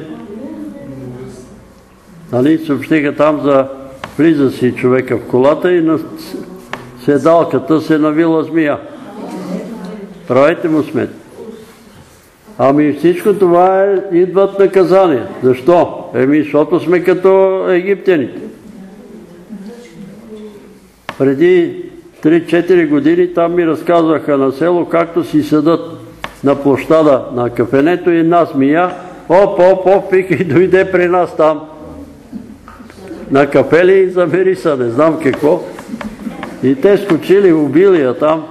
Не е страх, направо си излизат там на площада змията. Защо? Еми, защото не се работят нивите. Остеят така и те ще се бъдат зверове. А то пише, ако не слушате гласа на Господа вашия Бог, ще ви пратят диви зверове да ви изповядат. Говори за евреите, нали? Но то се отнася и за нас. Но от друга страна пък казват, че също са се появили и много таралежи, така че таралежите се справят с змиите. Не се бойте, не се плашите. Но има такива случаи, нали? Кажи, сестра, За, за Йонка. За Йонка. Да, и за сина ми. Бог да докосне сърцето му и да повярва истински. Амин. Кажи, сестра Цецки. Правих да кажа, сега като бяхме на село, а, нали, да можем да прекопаем това, което сме насадили, а, благодаря на Бога, защото то нали, валеше, валеше, валеше и аз викам да ще ходим, какво ще правим, но винаги, не само сега, Бог така е правил, че един ден ще изгрее слънце, земята се става за нормална и всичко става повече отколкото искам, защото викам ние за два дена, какво ще направим, даже ден и половина. Искам да прославя Бога, бях забелязала и понеже каза за змиите, аз като плевех там, аз не мога с ръковици да работя въобще и така с ръката плева, плева, плева и стигнах до една змия, но аз се видях какво благодаря на Бога, че ме запази. Беше дебела, беше се увила на кълбок, сива беше и, и ръката ми до нея и благодаря на Бога, че ме запази, че я видях, но вземах мотиката я, да я засече и тя избяга там. Избяга в една градина друга. Не, тя няма да те нападне, ако не я закачаш. Да. Ама ако я настъпиш и ако я хванеш, Еми, тя, тя се брани. Тя си защищава, брани се. Моята покойна Леля вика, искам да изповядам един грях. Викам, само един грях ли имаш ли? Абе има много грехове, дори се е изповядал, ама той не съм го изповядал. Искам да го изповядам пред тебе. Ми кажи, Абе, тук като станах сутринта, една змия се навила, вика на плочата тук и аз вземах една така лопата и убих. Е, викам това да ти е греха. Писано е. Тя ще хапе петата ти, ти ще измажеш главата. А викам да не е било смок. Ма не е вика голема една тук, не знам каква там, тя е изхвърлила. Предполагам, че е била смок, защото смока пък лови мишки и така нататък, помага. Хората по Индия си ги държат в домовете като кученца, смоковете. Нали, за да ги пазят от мишки. Не се плашите от змиите, Господ да ни пази, защото трябва да го вярваме.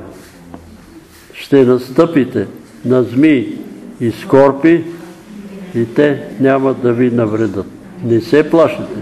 Хората от света се плашат. Ето, моята съседка миналата година и казвам, ела си, вземи тиквата, тя през нея, минала тиквата, една голема тиква и до довара там, е толкова голема, аз си взема, не смея. Защо? Ма там, вика, в довара има змия. Видяха. Е, викам, айде, аз ще ти откъсна, няма да... Тя змията ще се изкрие, тя няма да... Не се плашите, не се бойте. Есента проверявам водомеря, той е в шах Да. на село, и съм се облегнал така с лявата ръка на перваза на това и надича. И тя на другия перваз е една такава светло-жълта. Така, така, така, обърна главата към мене, погледна така, а, не ставам заяден и си замина. Ама аз успях през това време, понеже държах фотоапарат в ръката си, да снимам водомера да видя по-ясно. Да. И аз штракнах. А. Сигурно е пепелянка. Пепелянка. И викам да отидеш да си вършиш работа и даш мишки да ми пречиш.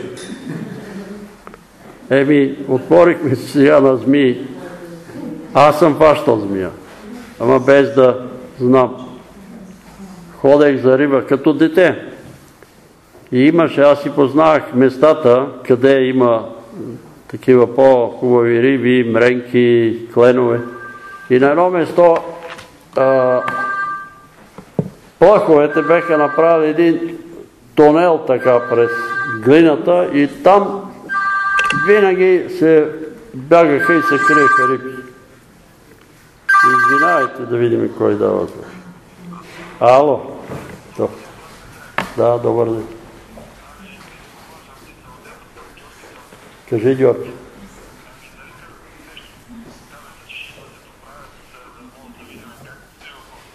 О, не съм сигурен.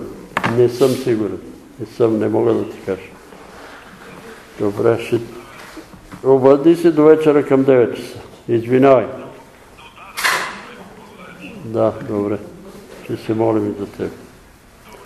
Георги от Етрополе да се молим и за него. И отивам аз от двете страни и пащам с двете ръце и викам, хванах две мрени, обаче като почнах да ги изваждам, те се използват от ръцете ми. То от едната ръка се използва, то от друга. Пак бъркам, пак ги хващам, дърпам и не мога. Викаме, няма как. Едната ще я пусна, едната ще хвана. И като изтеглих, и тя като се нави тук на ръката ми, е така, я на брега, там един братовчет по брега ходеше и събираше рибите и като побегна през ливадите, викам, Цецо, чакай бе, не бой се бе, тя няма да те настигне. Вика, аз си отивам. Аз си отивам, до тук съм с рибите. И другия случай беше, бех седнал на една поляна, там има един камарова поляна, тя е малко усойно така, каменисто, и цялата поляна беше в теменуги. Теменуги. Седнал съм си и си бера теменуги и ги ям. Викам, чел съм некъде за Езра ли, че Бог му е казал да яде цветя, викам и аз да хапна малко цветя. И те сладнат теменушките. И по едно време идва една змия, застана срещу мене на. Ама аз съм седнал точно срещу мене на един метър и си изправи, така и ме гледа. И аз я гледам, викам, и какво искаш сега? Какво искаш? Тя стои и ме гледа. И аз станах и тя, жуп, аз съм седнал на дупката на змията и се мушна вътре. Сигурно вътре имало змийчет. Ама Господ ме опази. Явно беше пепелянка, така, както я видях. Не се бойте, ще настъпвате на змии, скорпии, те няма да ви навреди. Ще изпиете нещо смъртоносно, няма да ви навреди. Не се паникьосвайте сега. Леле, имало сега некакво посланица такава брашно и какво било, не брашно ми, какво беше там, сирене, отровно сирене. Бе, Нема отровно сирене, не се бойте, бе, нема да умрете, бе. Не се бойте. Сега радиация има. Не бойте се от радиацията. Не бойте се. Ето в Долно Камарци има хора 99 години. На майка ми първи братовчет живя 99 години. След това една жена на 95 години. Е, нали има радиация? Тия хора, какво значи? Господ дава живота. Господ дава дължината на живота. Не се паникосвайте от тия работи. Не бойте се, е. Бъдете разумни, не сега да се тъпчеме и да преяждаме и после да повтим и да не може да спиме. Ма той гладният човек, той той не може да спи. Но се обади вчера една жена от Гърция, Мария. Казвам се сестра Мария. 14 години не съм спала. Предложих да се молите за мен. Да боли на ливада, молихте се, сега спа като агънц. И там брат Методи е снимал една Мария, ма е снимал, не е снимал, ами ги е вземал от тук, от нашите предавания, Мария Пашова и вика това ли е Мария? Не е тая Мария, тя е другата. Спи спокойно, да чуе Цветелина. Защото така става, че ние, ние знаеме, ние познаем тая Мария, в Атина живее, не е могла да спи толкова години. Обади се по телефона, молихме се за Мария, сега вика спа, нямам проблем. И така, сега ще се молим, има ли други нужди? Скажи, За Николай. Аз ти разказвах за него. За? За Николай. За Николай, за съвършено очистване и царение и благословение. Брат Стайко. За племенника ми Самуел, не, го знаят къде се намира. Нова версия на сатанинско нападение. Изчезва, защото баща му искаше да го вкара в психиатрия принудително и той изглежда е разбрал и И се крие някъде. еми някъде се крие, може да не го намерите и на Е, добре, защо ще го вкара в психиатрията? Е, защото той така преценява. Баща му. Така, А пък там диктуват нещата се странни.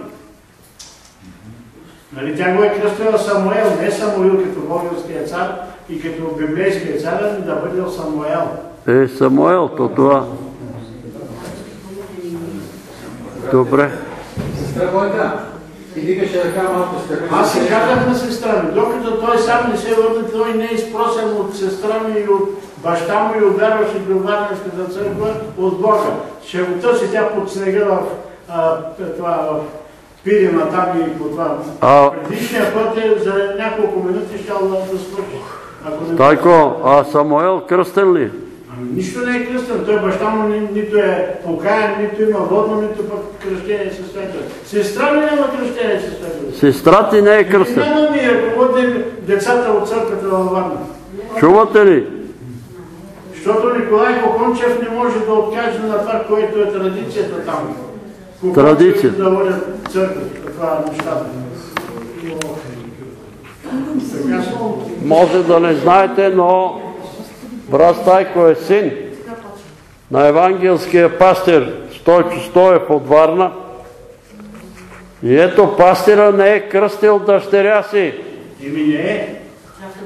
Не е, защото той Разбирате ли какво правят пастири? Когато аз го получа кръщението, му се обадам и допусна, че той се зарадва, все едно, че нищо не му казвам. Все едно, че е нищо. нещо важно, моя баща. Няма какво да говорим. Е какво да говориме сега? Тия хора се чудиме, че са против кръщенетата.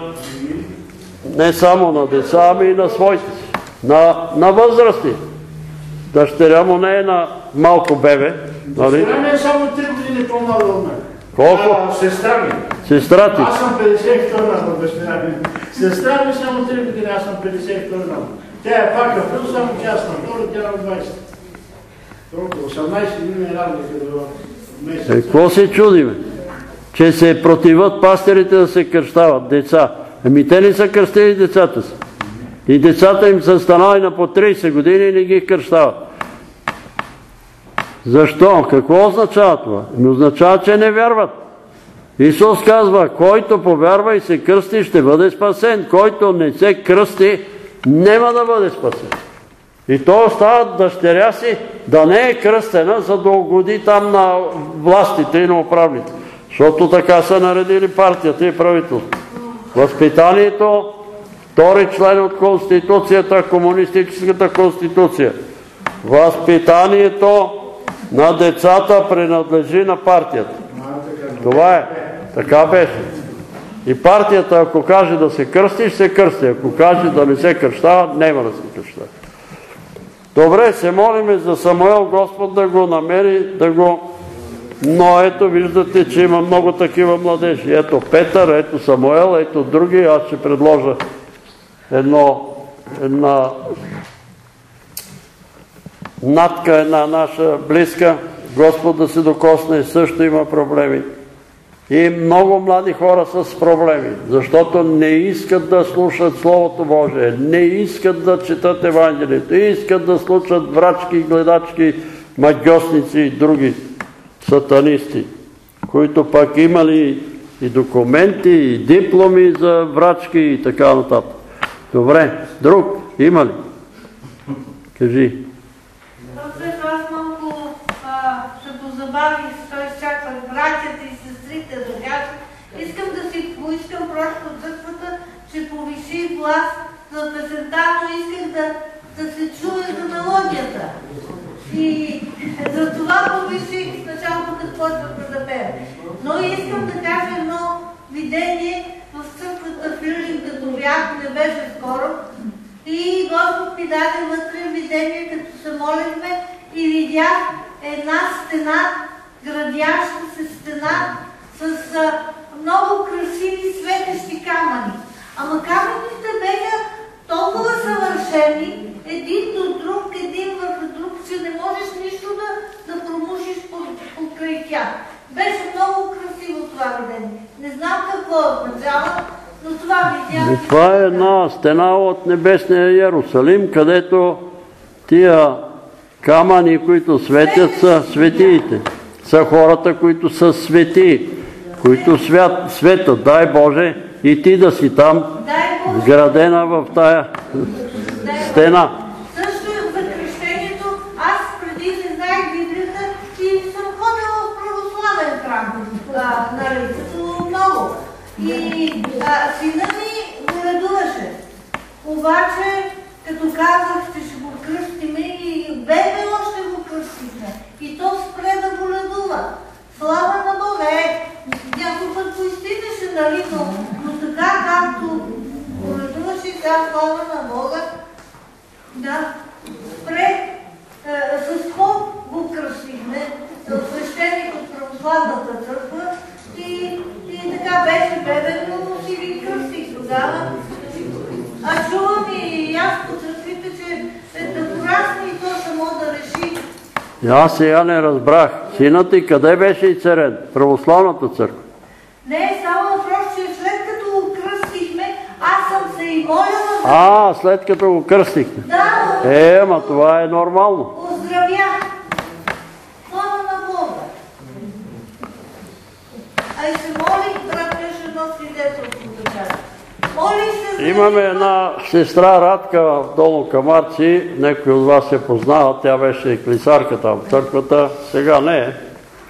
Но тя ми е разказвала за нейния син, че като дете е бил и като почен да пищи и да реве и се задавя, вика и че се изчерми се, вика и ни се чудим какво да правим. И като го закарахме там и го кръстихме, вика по време на кръщенето, той изповте нещо, каза, и че ли е излезнало от него нещо и детето се оправи. И не е само този случай. Не е само този случай. Така че, еги сега, пастир на Варненската църква не е кръстил дъщеря си и дъщеря му е била на 30 години, когато той си отиде. Сигурно.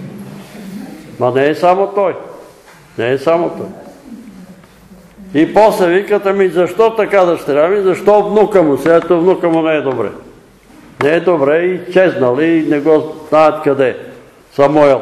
Сега Тайко се сърди, че не го е кръстил Самуил, ама то на еврейски може би е Самуел. На френски. А? На френски? На френски е Самуел. А, на френски. На еврейски, как е, не знам. На френски. държи на това да бъде как, да звучи както е на френски. Еми ви сега, много хора в България си кръщават децата вместо Христо и Христина, а, сестра Розалия, да не ми се разсърди, Кристо и Кристина. Е, защо с скъве? Ма на български е Христо. Защо трябва да го кръщаваш? Защото на запад е така, нали? К. Кристо. Християн. И маса християни и християнки са болни. Това е мода. Его, брат. Христо пита какво е плата. Е, това е плата. Плата е да се покажем, да се покажем, че ще носи еди какво си име. То си има значение името, макар че ако нямаше, Господ нямаше да ги прекръщава там. Савел стана Павел, Симон стана Петър и така. Кажи стра. Обаче при нея е дядо Кръстю на същия ден се роди. А, Кръстю. Баща ми е Христо и на А, Кръстю. Христина. Но Кристина означава християнка. Християнка. Да, Кристина значи християнка, християнка.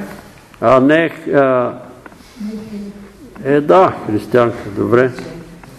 Добре, друг има ли да предложи някаква нужда? Няма. А, там се дига една ръка. Бе, по-смело бе. Искам да кажа, че и мене краката ме болят. За? И така и нещо се пота, аз съм си навлекла да има. Често се изпотява, не знам какво. И, а пък сега и око ме боли нещо в момента, ако може да се помоли. Окото те боли. Краката е болят и окото е боли. Ама имаш лош навик, сложиш си ръката тук на устата и говориш. И защо? За да не може да чуеме какво говориш. Махни си ръката. Кажи, брат. Сил да се уредат проблемите да получи някаква пенсия, нещо да има спънки, проблеми, не можем да решим вече две години въпрос. Започнаха са нещата, но трябва да се доведат до край. За тебе ли? Най-важното, че вече Бог вложи в него и той пое инициативата. Ама за Самуел ли говориш? За Васил за пенсия. А, за Васил за пенсия, да. И отделно, дето трябва да се оправят и другото, кой За учител. Дървовете, дето го било белите. Еми добре, айде да си справи. Кажи, Панчо. Петър и Галина, двамата раково болни и двамата чакат от Бога. Това е? Галина е братовчетка, млада братовчетка, която се моли на Бога. Да. И е раково болна, отказала се от а, химиотерапия и вече чака само от Бога. Оставила се в ръцете на Галина И Петър. и Петър.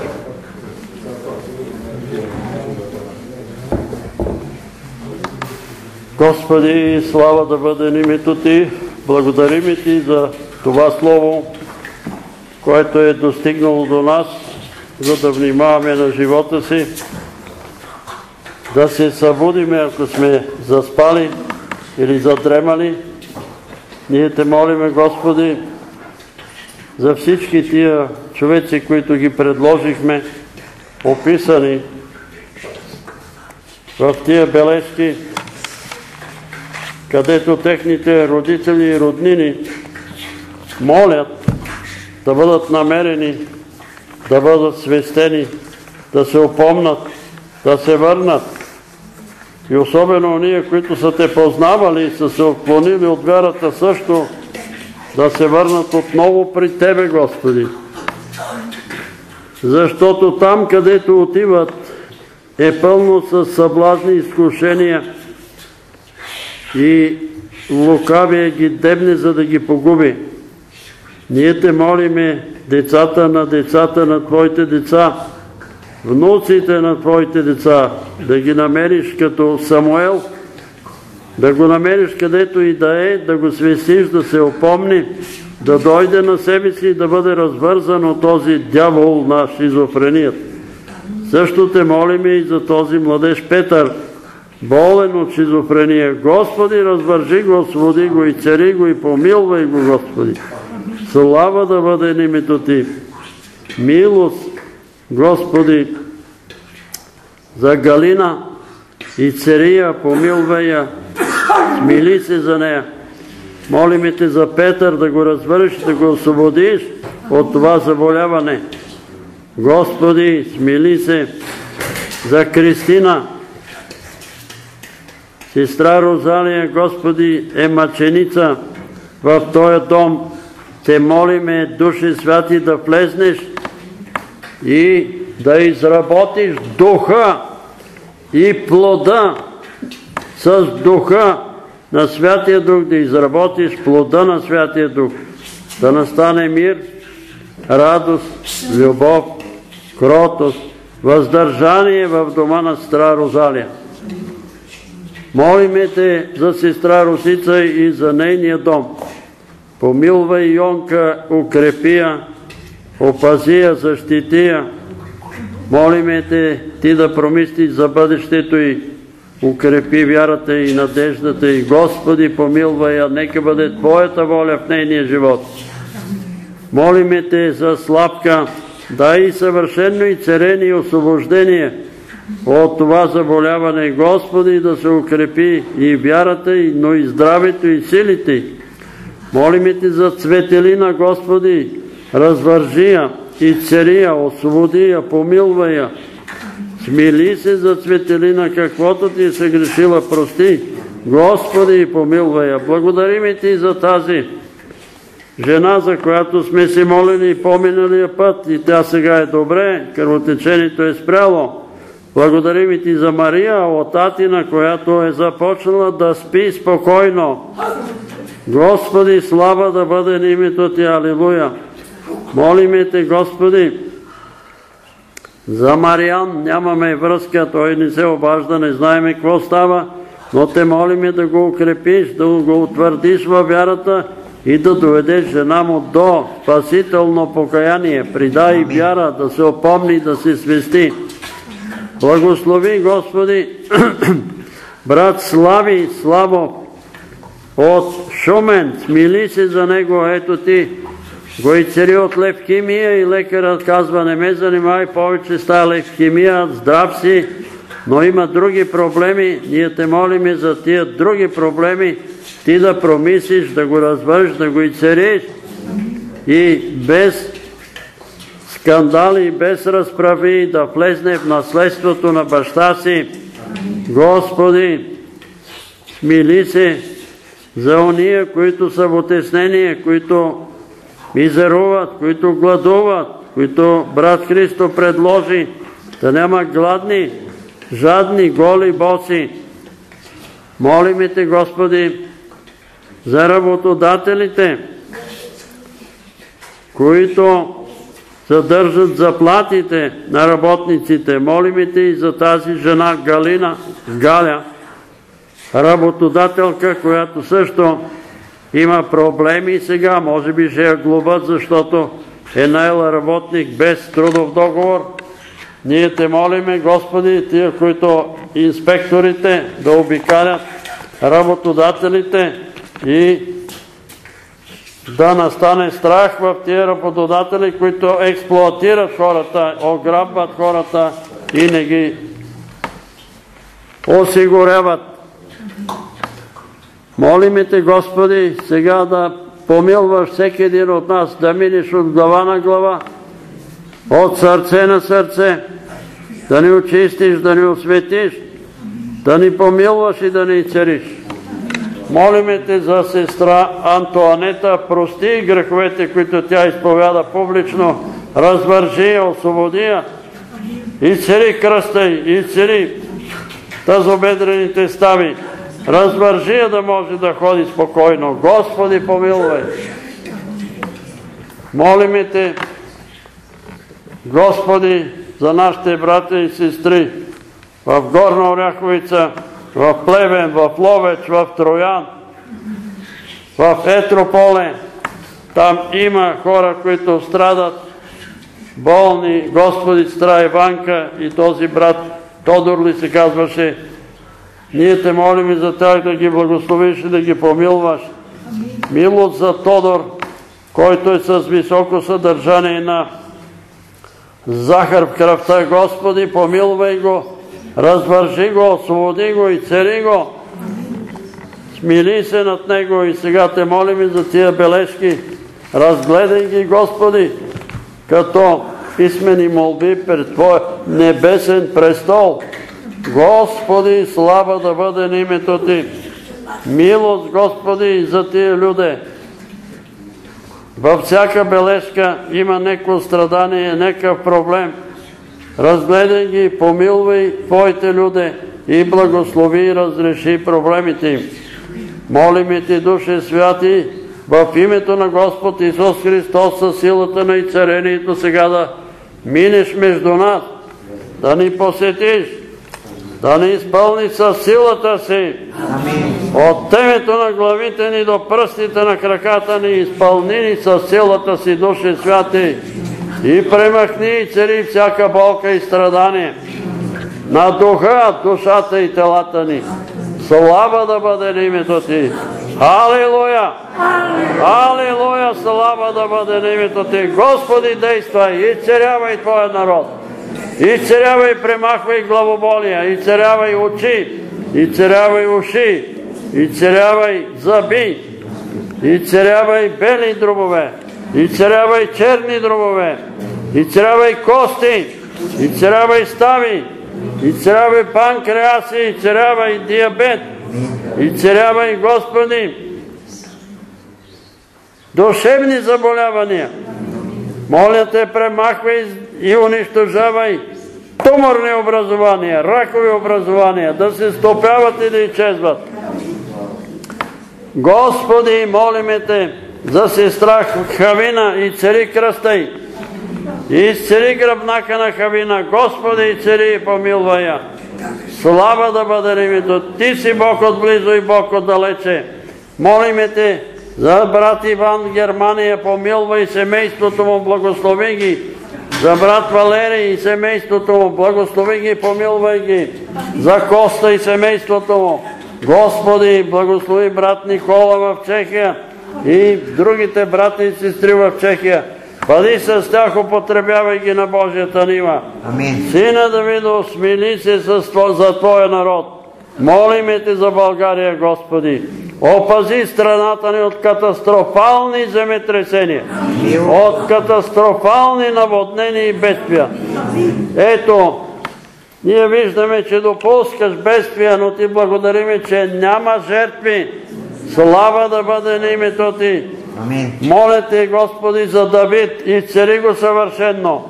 Молиме Те за това детенце от Варна, което е паднало от 8 етаж, да се събуди от комата. Господи, за да Ти бъде свидетел. Господи, слава да бъде на името Ти. Благодариме Ти. Молиме Ти за нашите роднини по плът.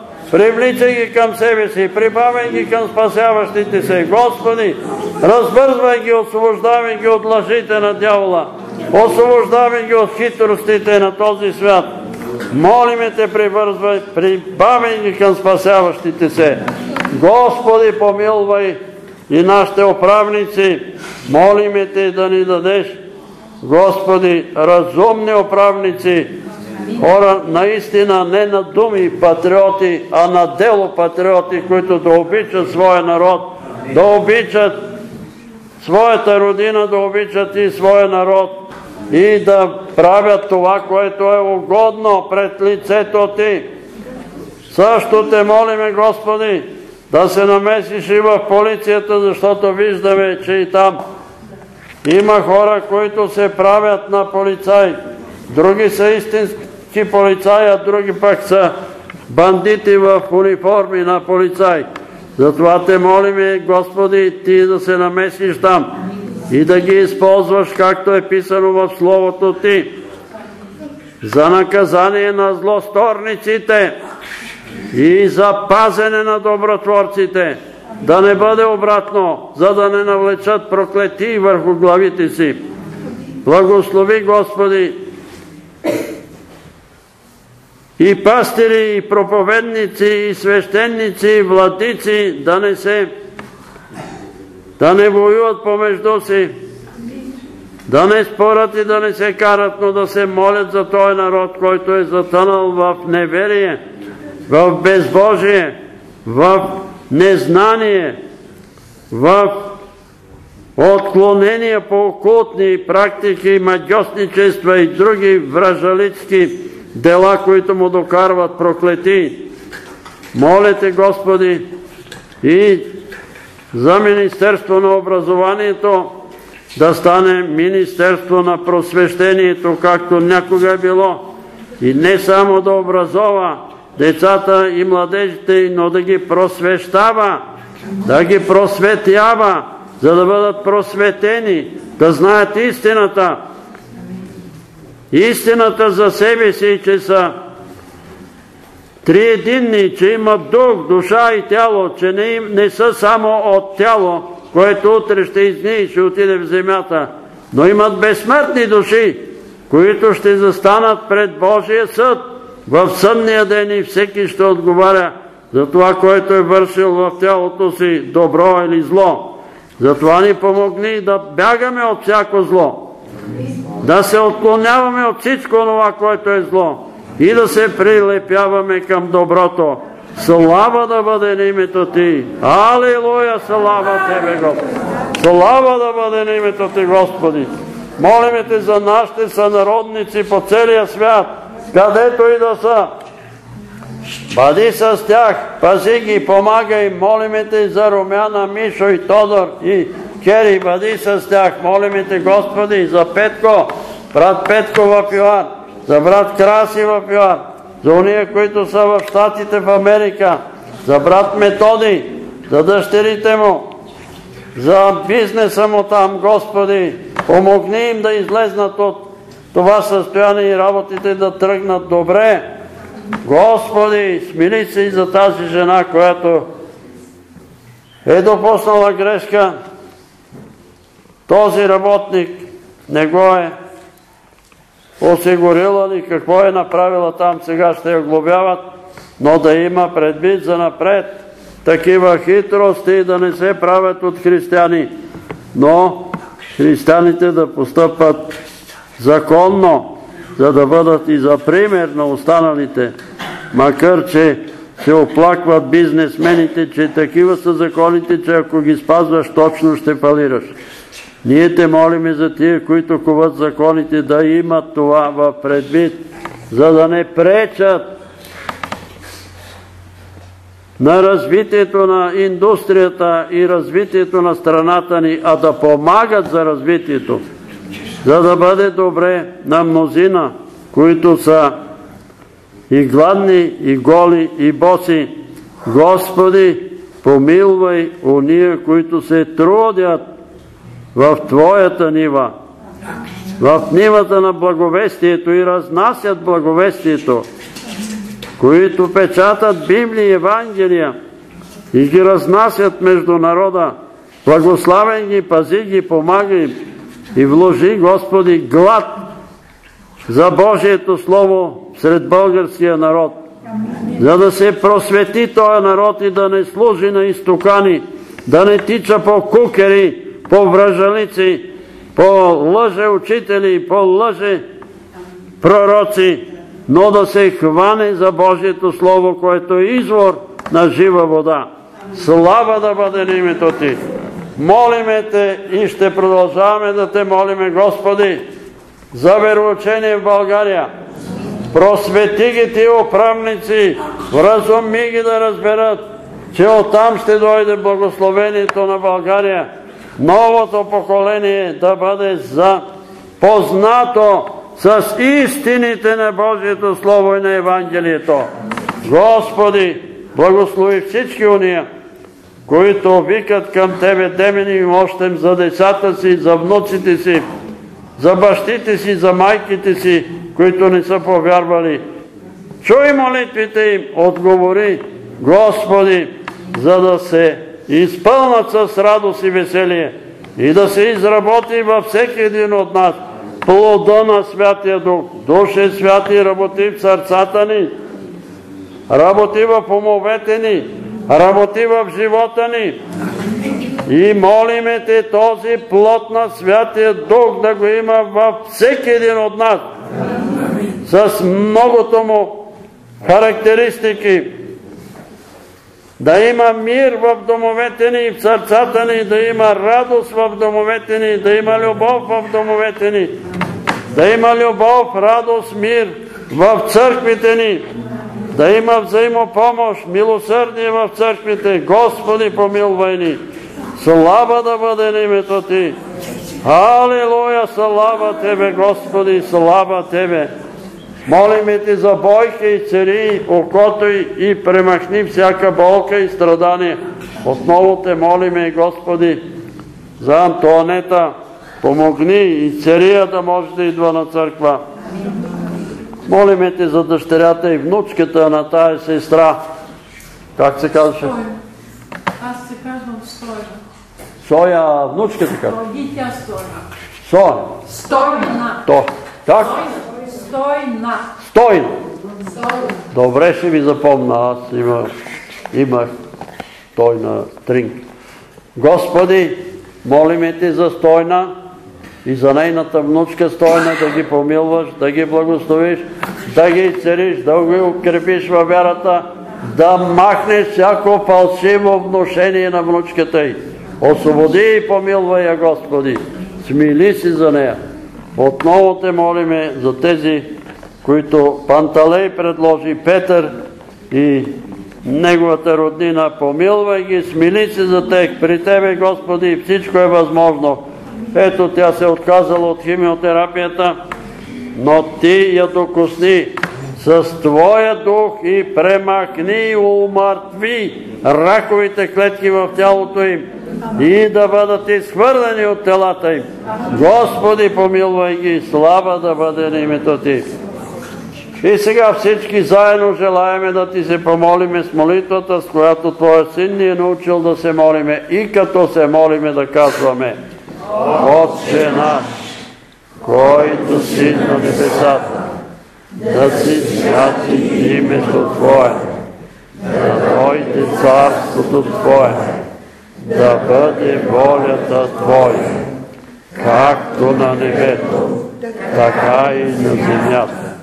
Хлябът наш насъщни, дай го нам днес и прости ни дълговете наши, както и ние оставаме нашите длъжници. И не ни въвеждай в изкушение, но избави нас от лукавия, защото е Твое царството и силата и славата во веки веков. Амин. Вярвам в един Бог Отец, Вседържител, Творец на небето и земята, на всичко видимо и невидимо, и в един Господ Исус Христос, Сина Божия, единородния, който е роден от Отца, преди всички векове, светлина от светлина, Бог истинен, Бог истинен, роден, несътворен, единосъщен с Отца, и чрез когото всичко е станало, който заради нас човеците и заради нашето спасение залезе от небесата и се въплати от Духа Святаго и Дева Мария и стана човек. И бе разнат за нас при Понтия Пилат и страда и бе погребан и възкръсна в третия ден според Писание и се възнесе на небесата и седи отдясно на Отца и пак ще дойде със слава да съди живи и мъртви и царството му не ще има край.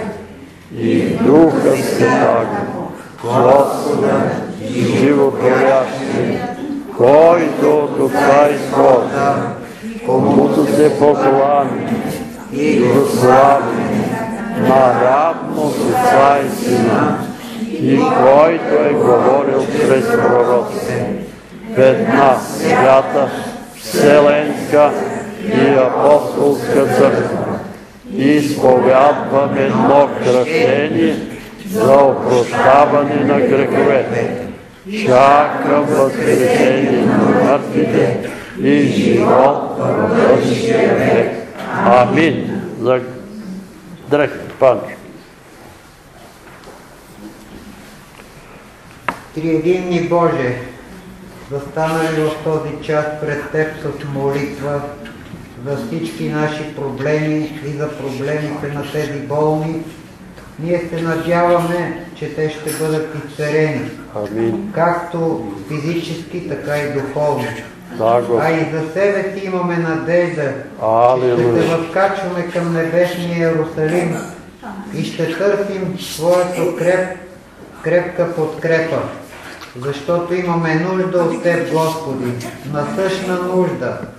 Всеки един от нас да възрастява вярата си, да укрепява надеждата си и да бъде сигурен, че един ден ще бъде заедно с Теб в рая.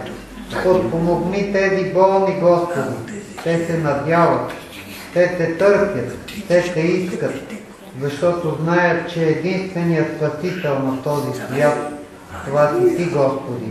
Подкрепи ги, дай им сили. Господи, да дойдат и да свидетелстват в голямо събрание. С любов да се отнасят към Теб и тази любов да се разгаря все повече и повече. Благодарим Ти, Господи. Разжари нашите сърца. Дай ни огромна топлина и сила, които да приложим в живота си и да напредваме по всякакъв възможен начин, да подпомагаме нашите братя и сестри и всички останали. Амин. Амин.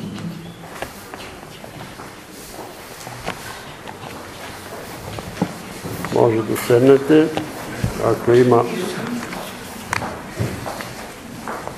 видение, откровение, да бъдат изповядани. Да? Да, една. Има ли една?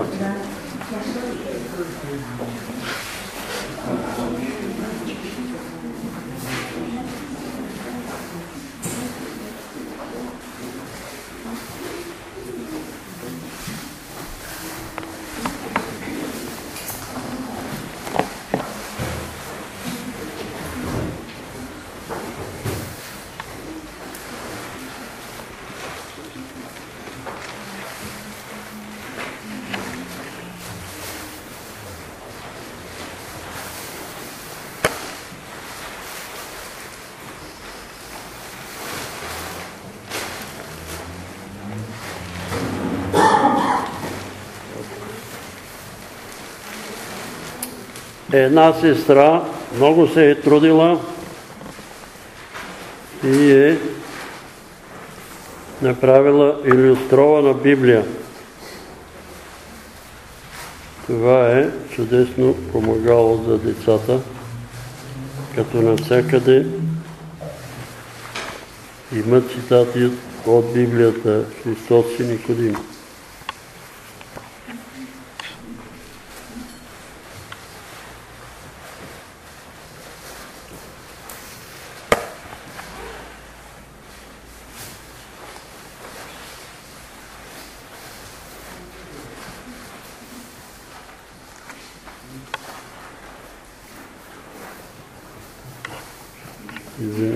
Извините на Святия Дух. Корнилий.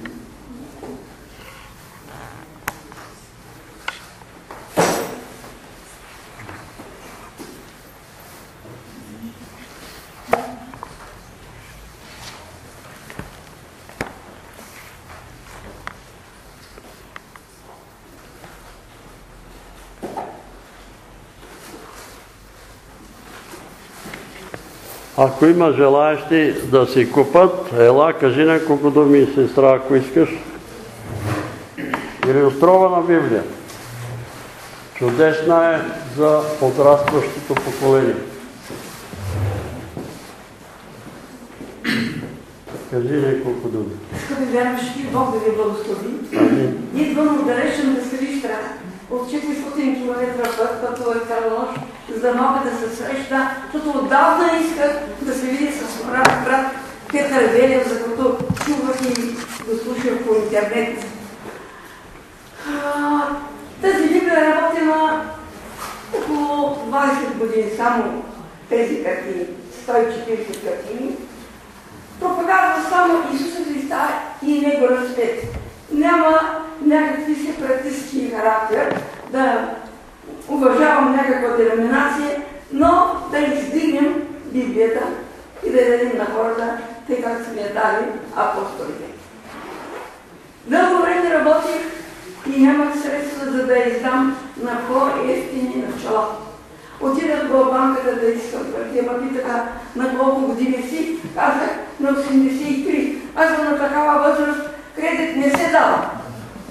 И тогава се наложи да направя един вътрешен заем и все пестях, пестях, докато най-после стигнахме с един брат, превеждател Николай Марков, да я направи тия 140 картини с много лъжковици за 20 лева. Това е символична цена. След като я разгледате, ще видите, че парите са дадени за нещо много по-голямо. Но нека Бог да ви благослови. Да е... Голем труд е. Ето, дай ми я на мене една. Бог да ви благослови. Бог да благослови първият, който... Искам да ви... Разкажете на целия свят, дайте написани на английски. Да се подсказва, защото в ограничено количество е. Ще бъде чудесно е за деца да имат Разбира се, когато съм ги чел тия работи, аз съм си ги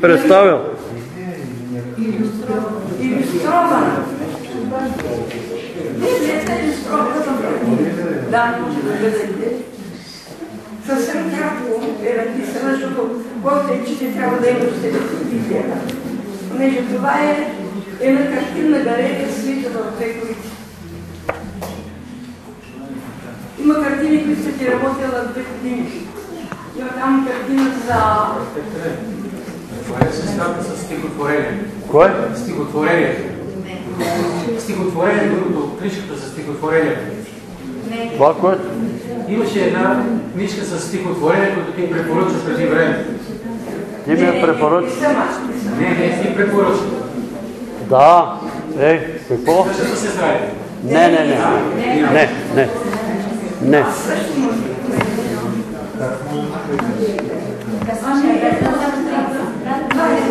Сега, малко искам да ви кажа нещо. А, искам да, да ви кажа няколко думи за това, че вие знаете, че има такива хора, които считат, че не може да а, имаме картини в домовете си, икони, картини и така нататък, защото аз не знам на гръцки икона какво означава, майче образ. Защото първата заповед казва да нямаш други богове. Не си прави, втората не си прави никакво изображение, което е на небето, на земята и не им се кланя и не им служи. Така е. Обаче в Новия Завет вече има образи. Исус Христос е образ на невидимия Бог. Исус Христос е образ на невидимия Бог. Има образ. Аз също съм се колебал, но трябва да ви кажа, че където съм ходил по чужбина, съм си купувал някои картини с библейски сюжети. Малки картинки, не големи картини. И един, една нощ фактически се случи с мене нещо, че аз духом, както казва апостол Павел, не знам, Господ знае, застанах пред Божия престол. Пред тронната зала. И там Исус Христос стана от стола, посочи ми и каза, той има много хубави картини. И аз казах, Господи, какви картини имам? Аз нямам никакви картини. И тогава се чу отдолу от небесната красъци, викове красъци като на рок-концертите. И така от тронната зала излезе глас, който каза, когато се усъмните в нещо, което казва Исус, връзката между вас и нас се прекъсва по този начин, защото ние не вярваме. Когато обаче се събудих, дойдох на себе си, си спомних, че в моя, тогава имах на село само, над леглото ми има тайната, не тайната, молитвата на Господ Исус Христос в Гецимания. На един камък Исус е седнал там, нали, погледнал е нагоре, луната свети тая картина. Когато са влизали по това време комунистическо, в стаята аз съм забелязвал как хората си страскат. Като погледне картината и си стresне. Разбира се, дойдоха от Плеен двама художници, мъж и жена и казват, ао, брат Петре, какво е това? Викам картина с образа на Господ Исус Христос. Но това е идол, викам. Ма вие сте художници, бе, какъв идол е това? Това е идол ли? Исус идол ли е? Това са картини с библейски сюжети и ние ще кажем това са идоли. Друго, ако почнеш да им се кланя сега и почна тая книга я турна и каза книго, изцери ме, помилвай ме, тогава става идол. Тогава заместват. Обаче това нещо ще научи децата да имат, въображението да си, да видят тия неща. Чудесна е, за децата е чудесна. Толкова труд е хвърлила тая сестра, нали, тя така ги е виждала в нейната представа, бягството от Египет. Отваря се земята, това водата.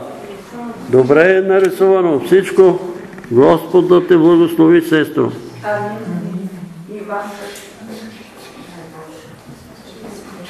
И на английски, и на български. И децата ви, като четат текста на български, ще го четат и на английски и ще се учат.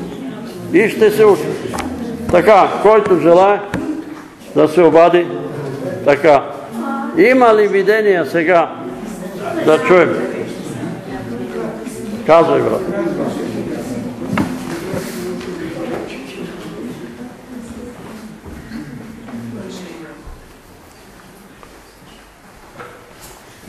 Като спомена там, можеше за някакви бизнесмени, пояс с такива кисинки,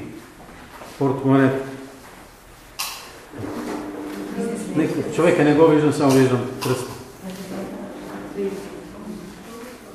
Ами вижте какво трудна работа е човек да се занимава с търговия, пише Библията, греха е неизбежен.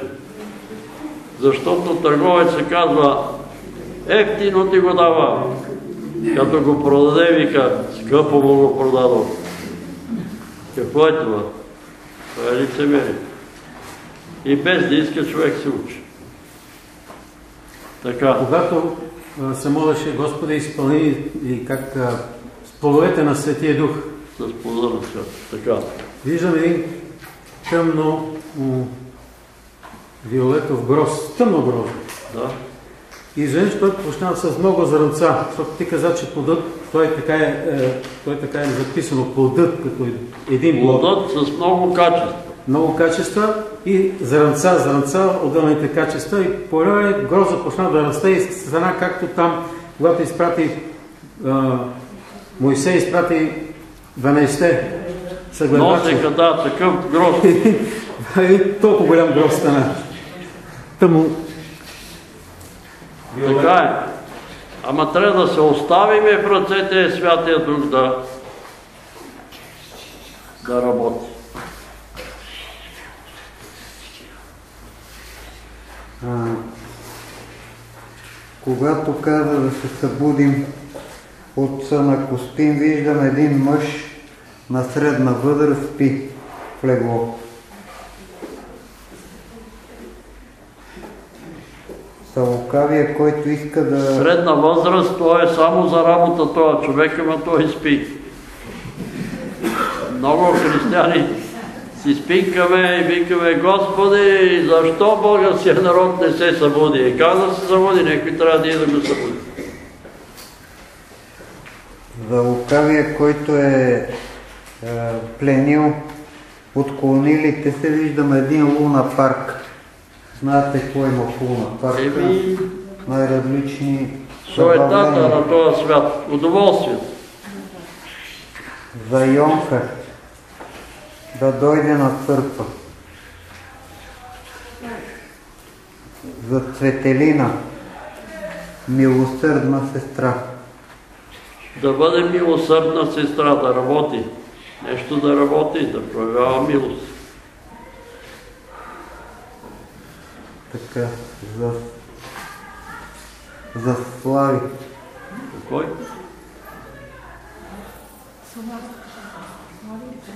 За кой бе? Слави е, дъга на синьо небе. Тъга на синьо небе. Еми надежда, Господ ще го пази. За инспекторите и работодателите чувам една дума комбина.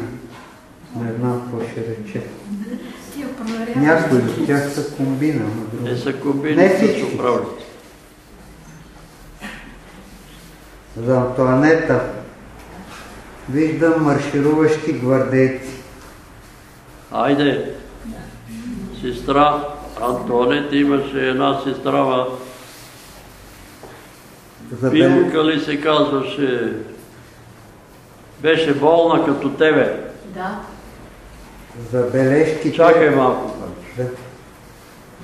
И дойде в църквата, е така, с бастуни и все болна, тук коксартроза, не знам какво. И дойде, застана, ама това беше в... бехме събрали в Божурище там. Тя дойде,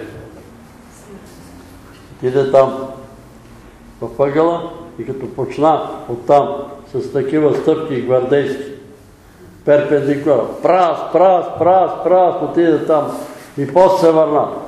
Господ ме и цари, слава на Бог. Да се случи Антонето с тебе. Същото като с Билка. Така, за бележките виждам бяла глава на гълъб. Гълъба Святия Дух отнесе всички нужди пред престола на Бога. Така. Да не изпълниш със сила конник, който държи сабия в едната си ръка, така високо вдигната. Вземете Божието Слово, който е двостър меч. Четете Божието Слово, за да се изпълните с сила. Не може да не четеме нищо от Словото Божие и дай сила. Няма как да стане. Като четеме Словото, ще се изпълваме с сила. Така, Е, разбира се, ще се молиме. Господ дава сила. за раково болните се вижда един светъл лъч в тъмнината. Има надежда за всяка болест. За роднините ни да, по, за роднините по плът. Виждам един диригент, който държи диригентска палка в ръка. Ами Господ ги ръководи. Диригента е Бог. Да ги доведе Той. За наказание на злосторниците виждам стара секира. Ръждясала се кира. За промяна в Министерство на образованието а, ново вино не се налива в стари мехове, а в нови. Тоест, Еми, ние се молиме меховете да се, хора не се прави. да се подноват меховете. Не, просто тия хора са същите и те правят някаква реформа, ама тя не е реформа. за вероучение виждам една спринцовка с игла, пълна с безцветна течност. Ако няма вероучение, има наркотици. Това е. Или вероучение, или наркотици, да се избират родители. За раково болните дървено разпятие на стената за качане. Понеже накрая ги спомена пак и това виждам. Друг има ли?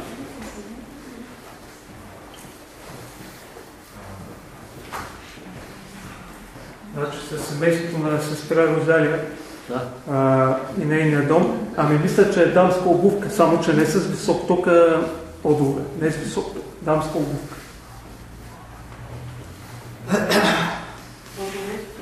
Сестра Розалия, идва ли някой, някоя жена у вас, някоя съмнително нещо да не ти, да не ви прави нещо?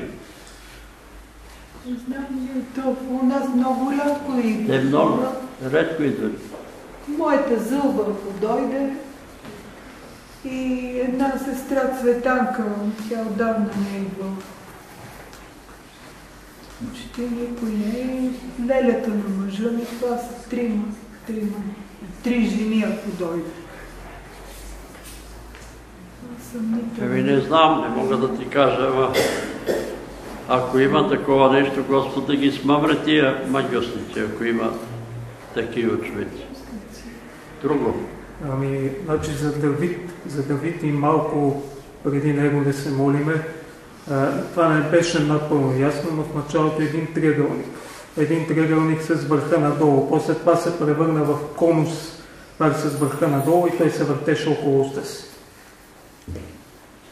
Ами може да има нещо окултно там в живота на семейството. Дали от едната страна или от другата страна. Може да има нещо окултно. За мен? За кого? Друго. Ами, това бяха. Може ли няколко думи да кажа? Да, кажи. По принцип. Значи искам да въздам слава на Тредимния Бог, защото откакто се кръстих, понеже нали, там стана въпрос, една сестра каза, миналата година, откакто се кръстих и започнах да идвам тук и нали, да се моля повече да водя по-духовен живот от много болести или бях изцелен и подобрен. Слава на Бога. А иначе искам, ако някой, някого съм наранил нещо, мога да ми прости, аз прощавам на всички. Няма нищо. Не вярвам да си наранил някой. има ли други? Това е леко близо така, застани там при микрофона. Ела тук да, да се чуваш. Ми, за- полицаите а, видях нещо като мишка. Утре. Като рисувана мишка с такива уши, както ги рисува. Еми, някои са такива, но не всички. А, и накрая, за, когато се молихте за дрехите, видях една фигура и сега знам, приличаше на Исус, но може и да е ангел. За кой се моли? За дрехите, за за дрехите. дрехите. Да. И после някакви хора, които бяха някаква широка такава светеща лента около тях и постепенно всичките се осветиха. Еми така е. Всичко се освещава чрез Словото Божие и молитвата. Тия хора, които ги предлагате тук, тия дрехи се освещават. Но вие кажете на уния, които ги взимат. Тази дреха е осветена от молитвата и от Словото Божие. Служи я на главата си или на гърдите си и кажи, Господи, благодаря ти, че оказваш милост към мен. Нали, човека да го каже това. Не да разчитате на самата дреха, тя е осветена. Може ли да има осветени неща ви? Може. Може. Аз знам, че не годуват някои такива фарисеи. Против храма, примерно против молитвения дом. Всичко се освещава чрез Словото Божие и молитвата. Чете Словото Божие, молиме си, това нещо се освещава. Освен това Исус казва, всичко в Божия храм е осветено от оня, който го обитава. Как тия хора прескачат тия стихове от Библията и си намират такива, дето им харесват. Всичко в Божия храм се освещава от оня, който го обитава. Кой обитава Божия храм? Бог! Обитаваше ли Бог храма, който го построи Соломон? Отговори ли Бог, че това всичко, което Соломон се помоли, ако некой човек от далечна страна, дори да не е израелтянин, езичник, но повярва и се обърне към този храм, с лице към този храм, ти чуй от небето изпълни желанието на сърцето. И Данаил, когато беха в Вавилон, отваряше прозореца и погледа му се насочваше към Божия храм. Но също така, Господ след това, по-надолу Бог говори и казва, да, всичко в този храм ще бъде осветено. Но ако този народ се отклони и тръгне да служи на Вали и на Ашери, ще разруша този храм. Разруши ли го? Разруши го. Разруши го. Защо? Защото Бог им е казал какво да правят. Те търсят Вали, Ашери, некакви божества финикийски, които да им помогнат. Нема да им помогнат. Така и ние си. Ние говориме, говориме, говориме и след това пострада некои ходили на гледачка и ми ходи. Защо бе, сестро? Еми, защото да ми каже еди. Ама какво ще ти каже, бе? Ама какво ще ти каже гледачката? Какво ще ти каже? Ще ти каже лъжа. Добре, има ли друг некой? Ако има некво откровение. Ако не, да се изправим. Алилуя!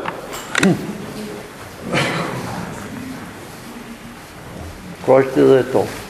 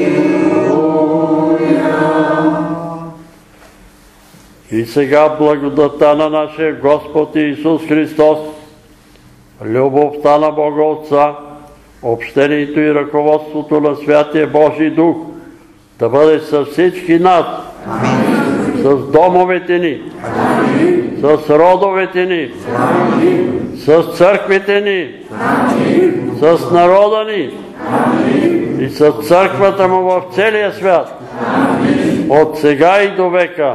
Амин.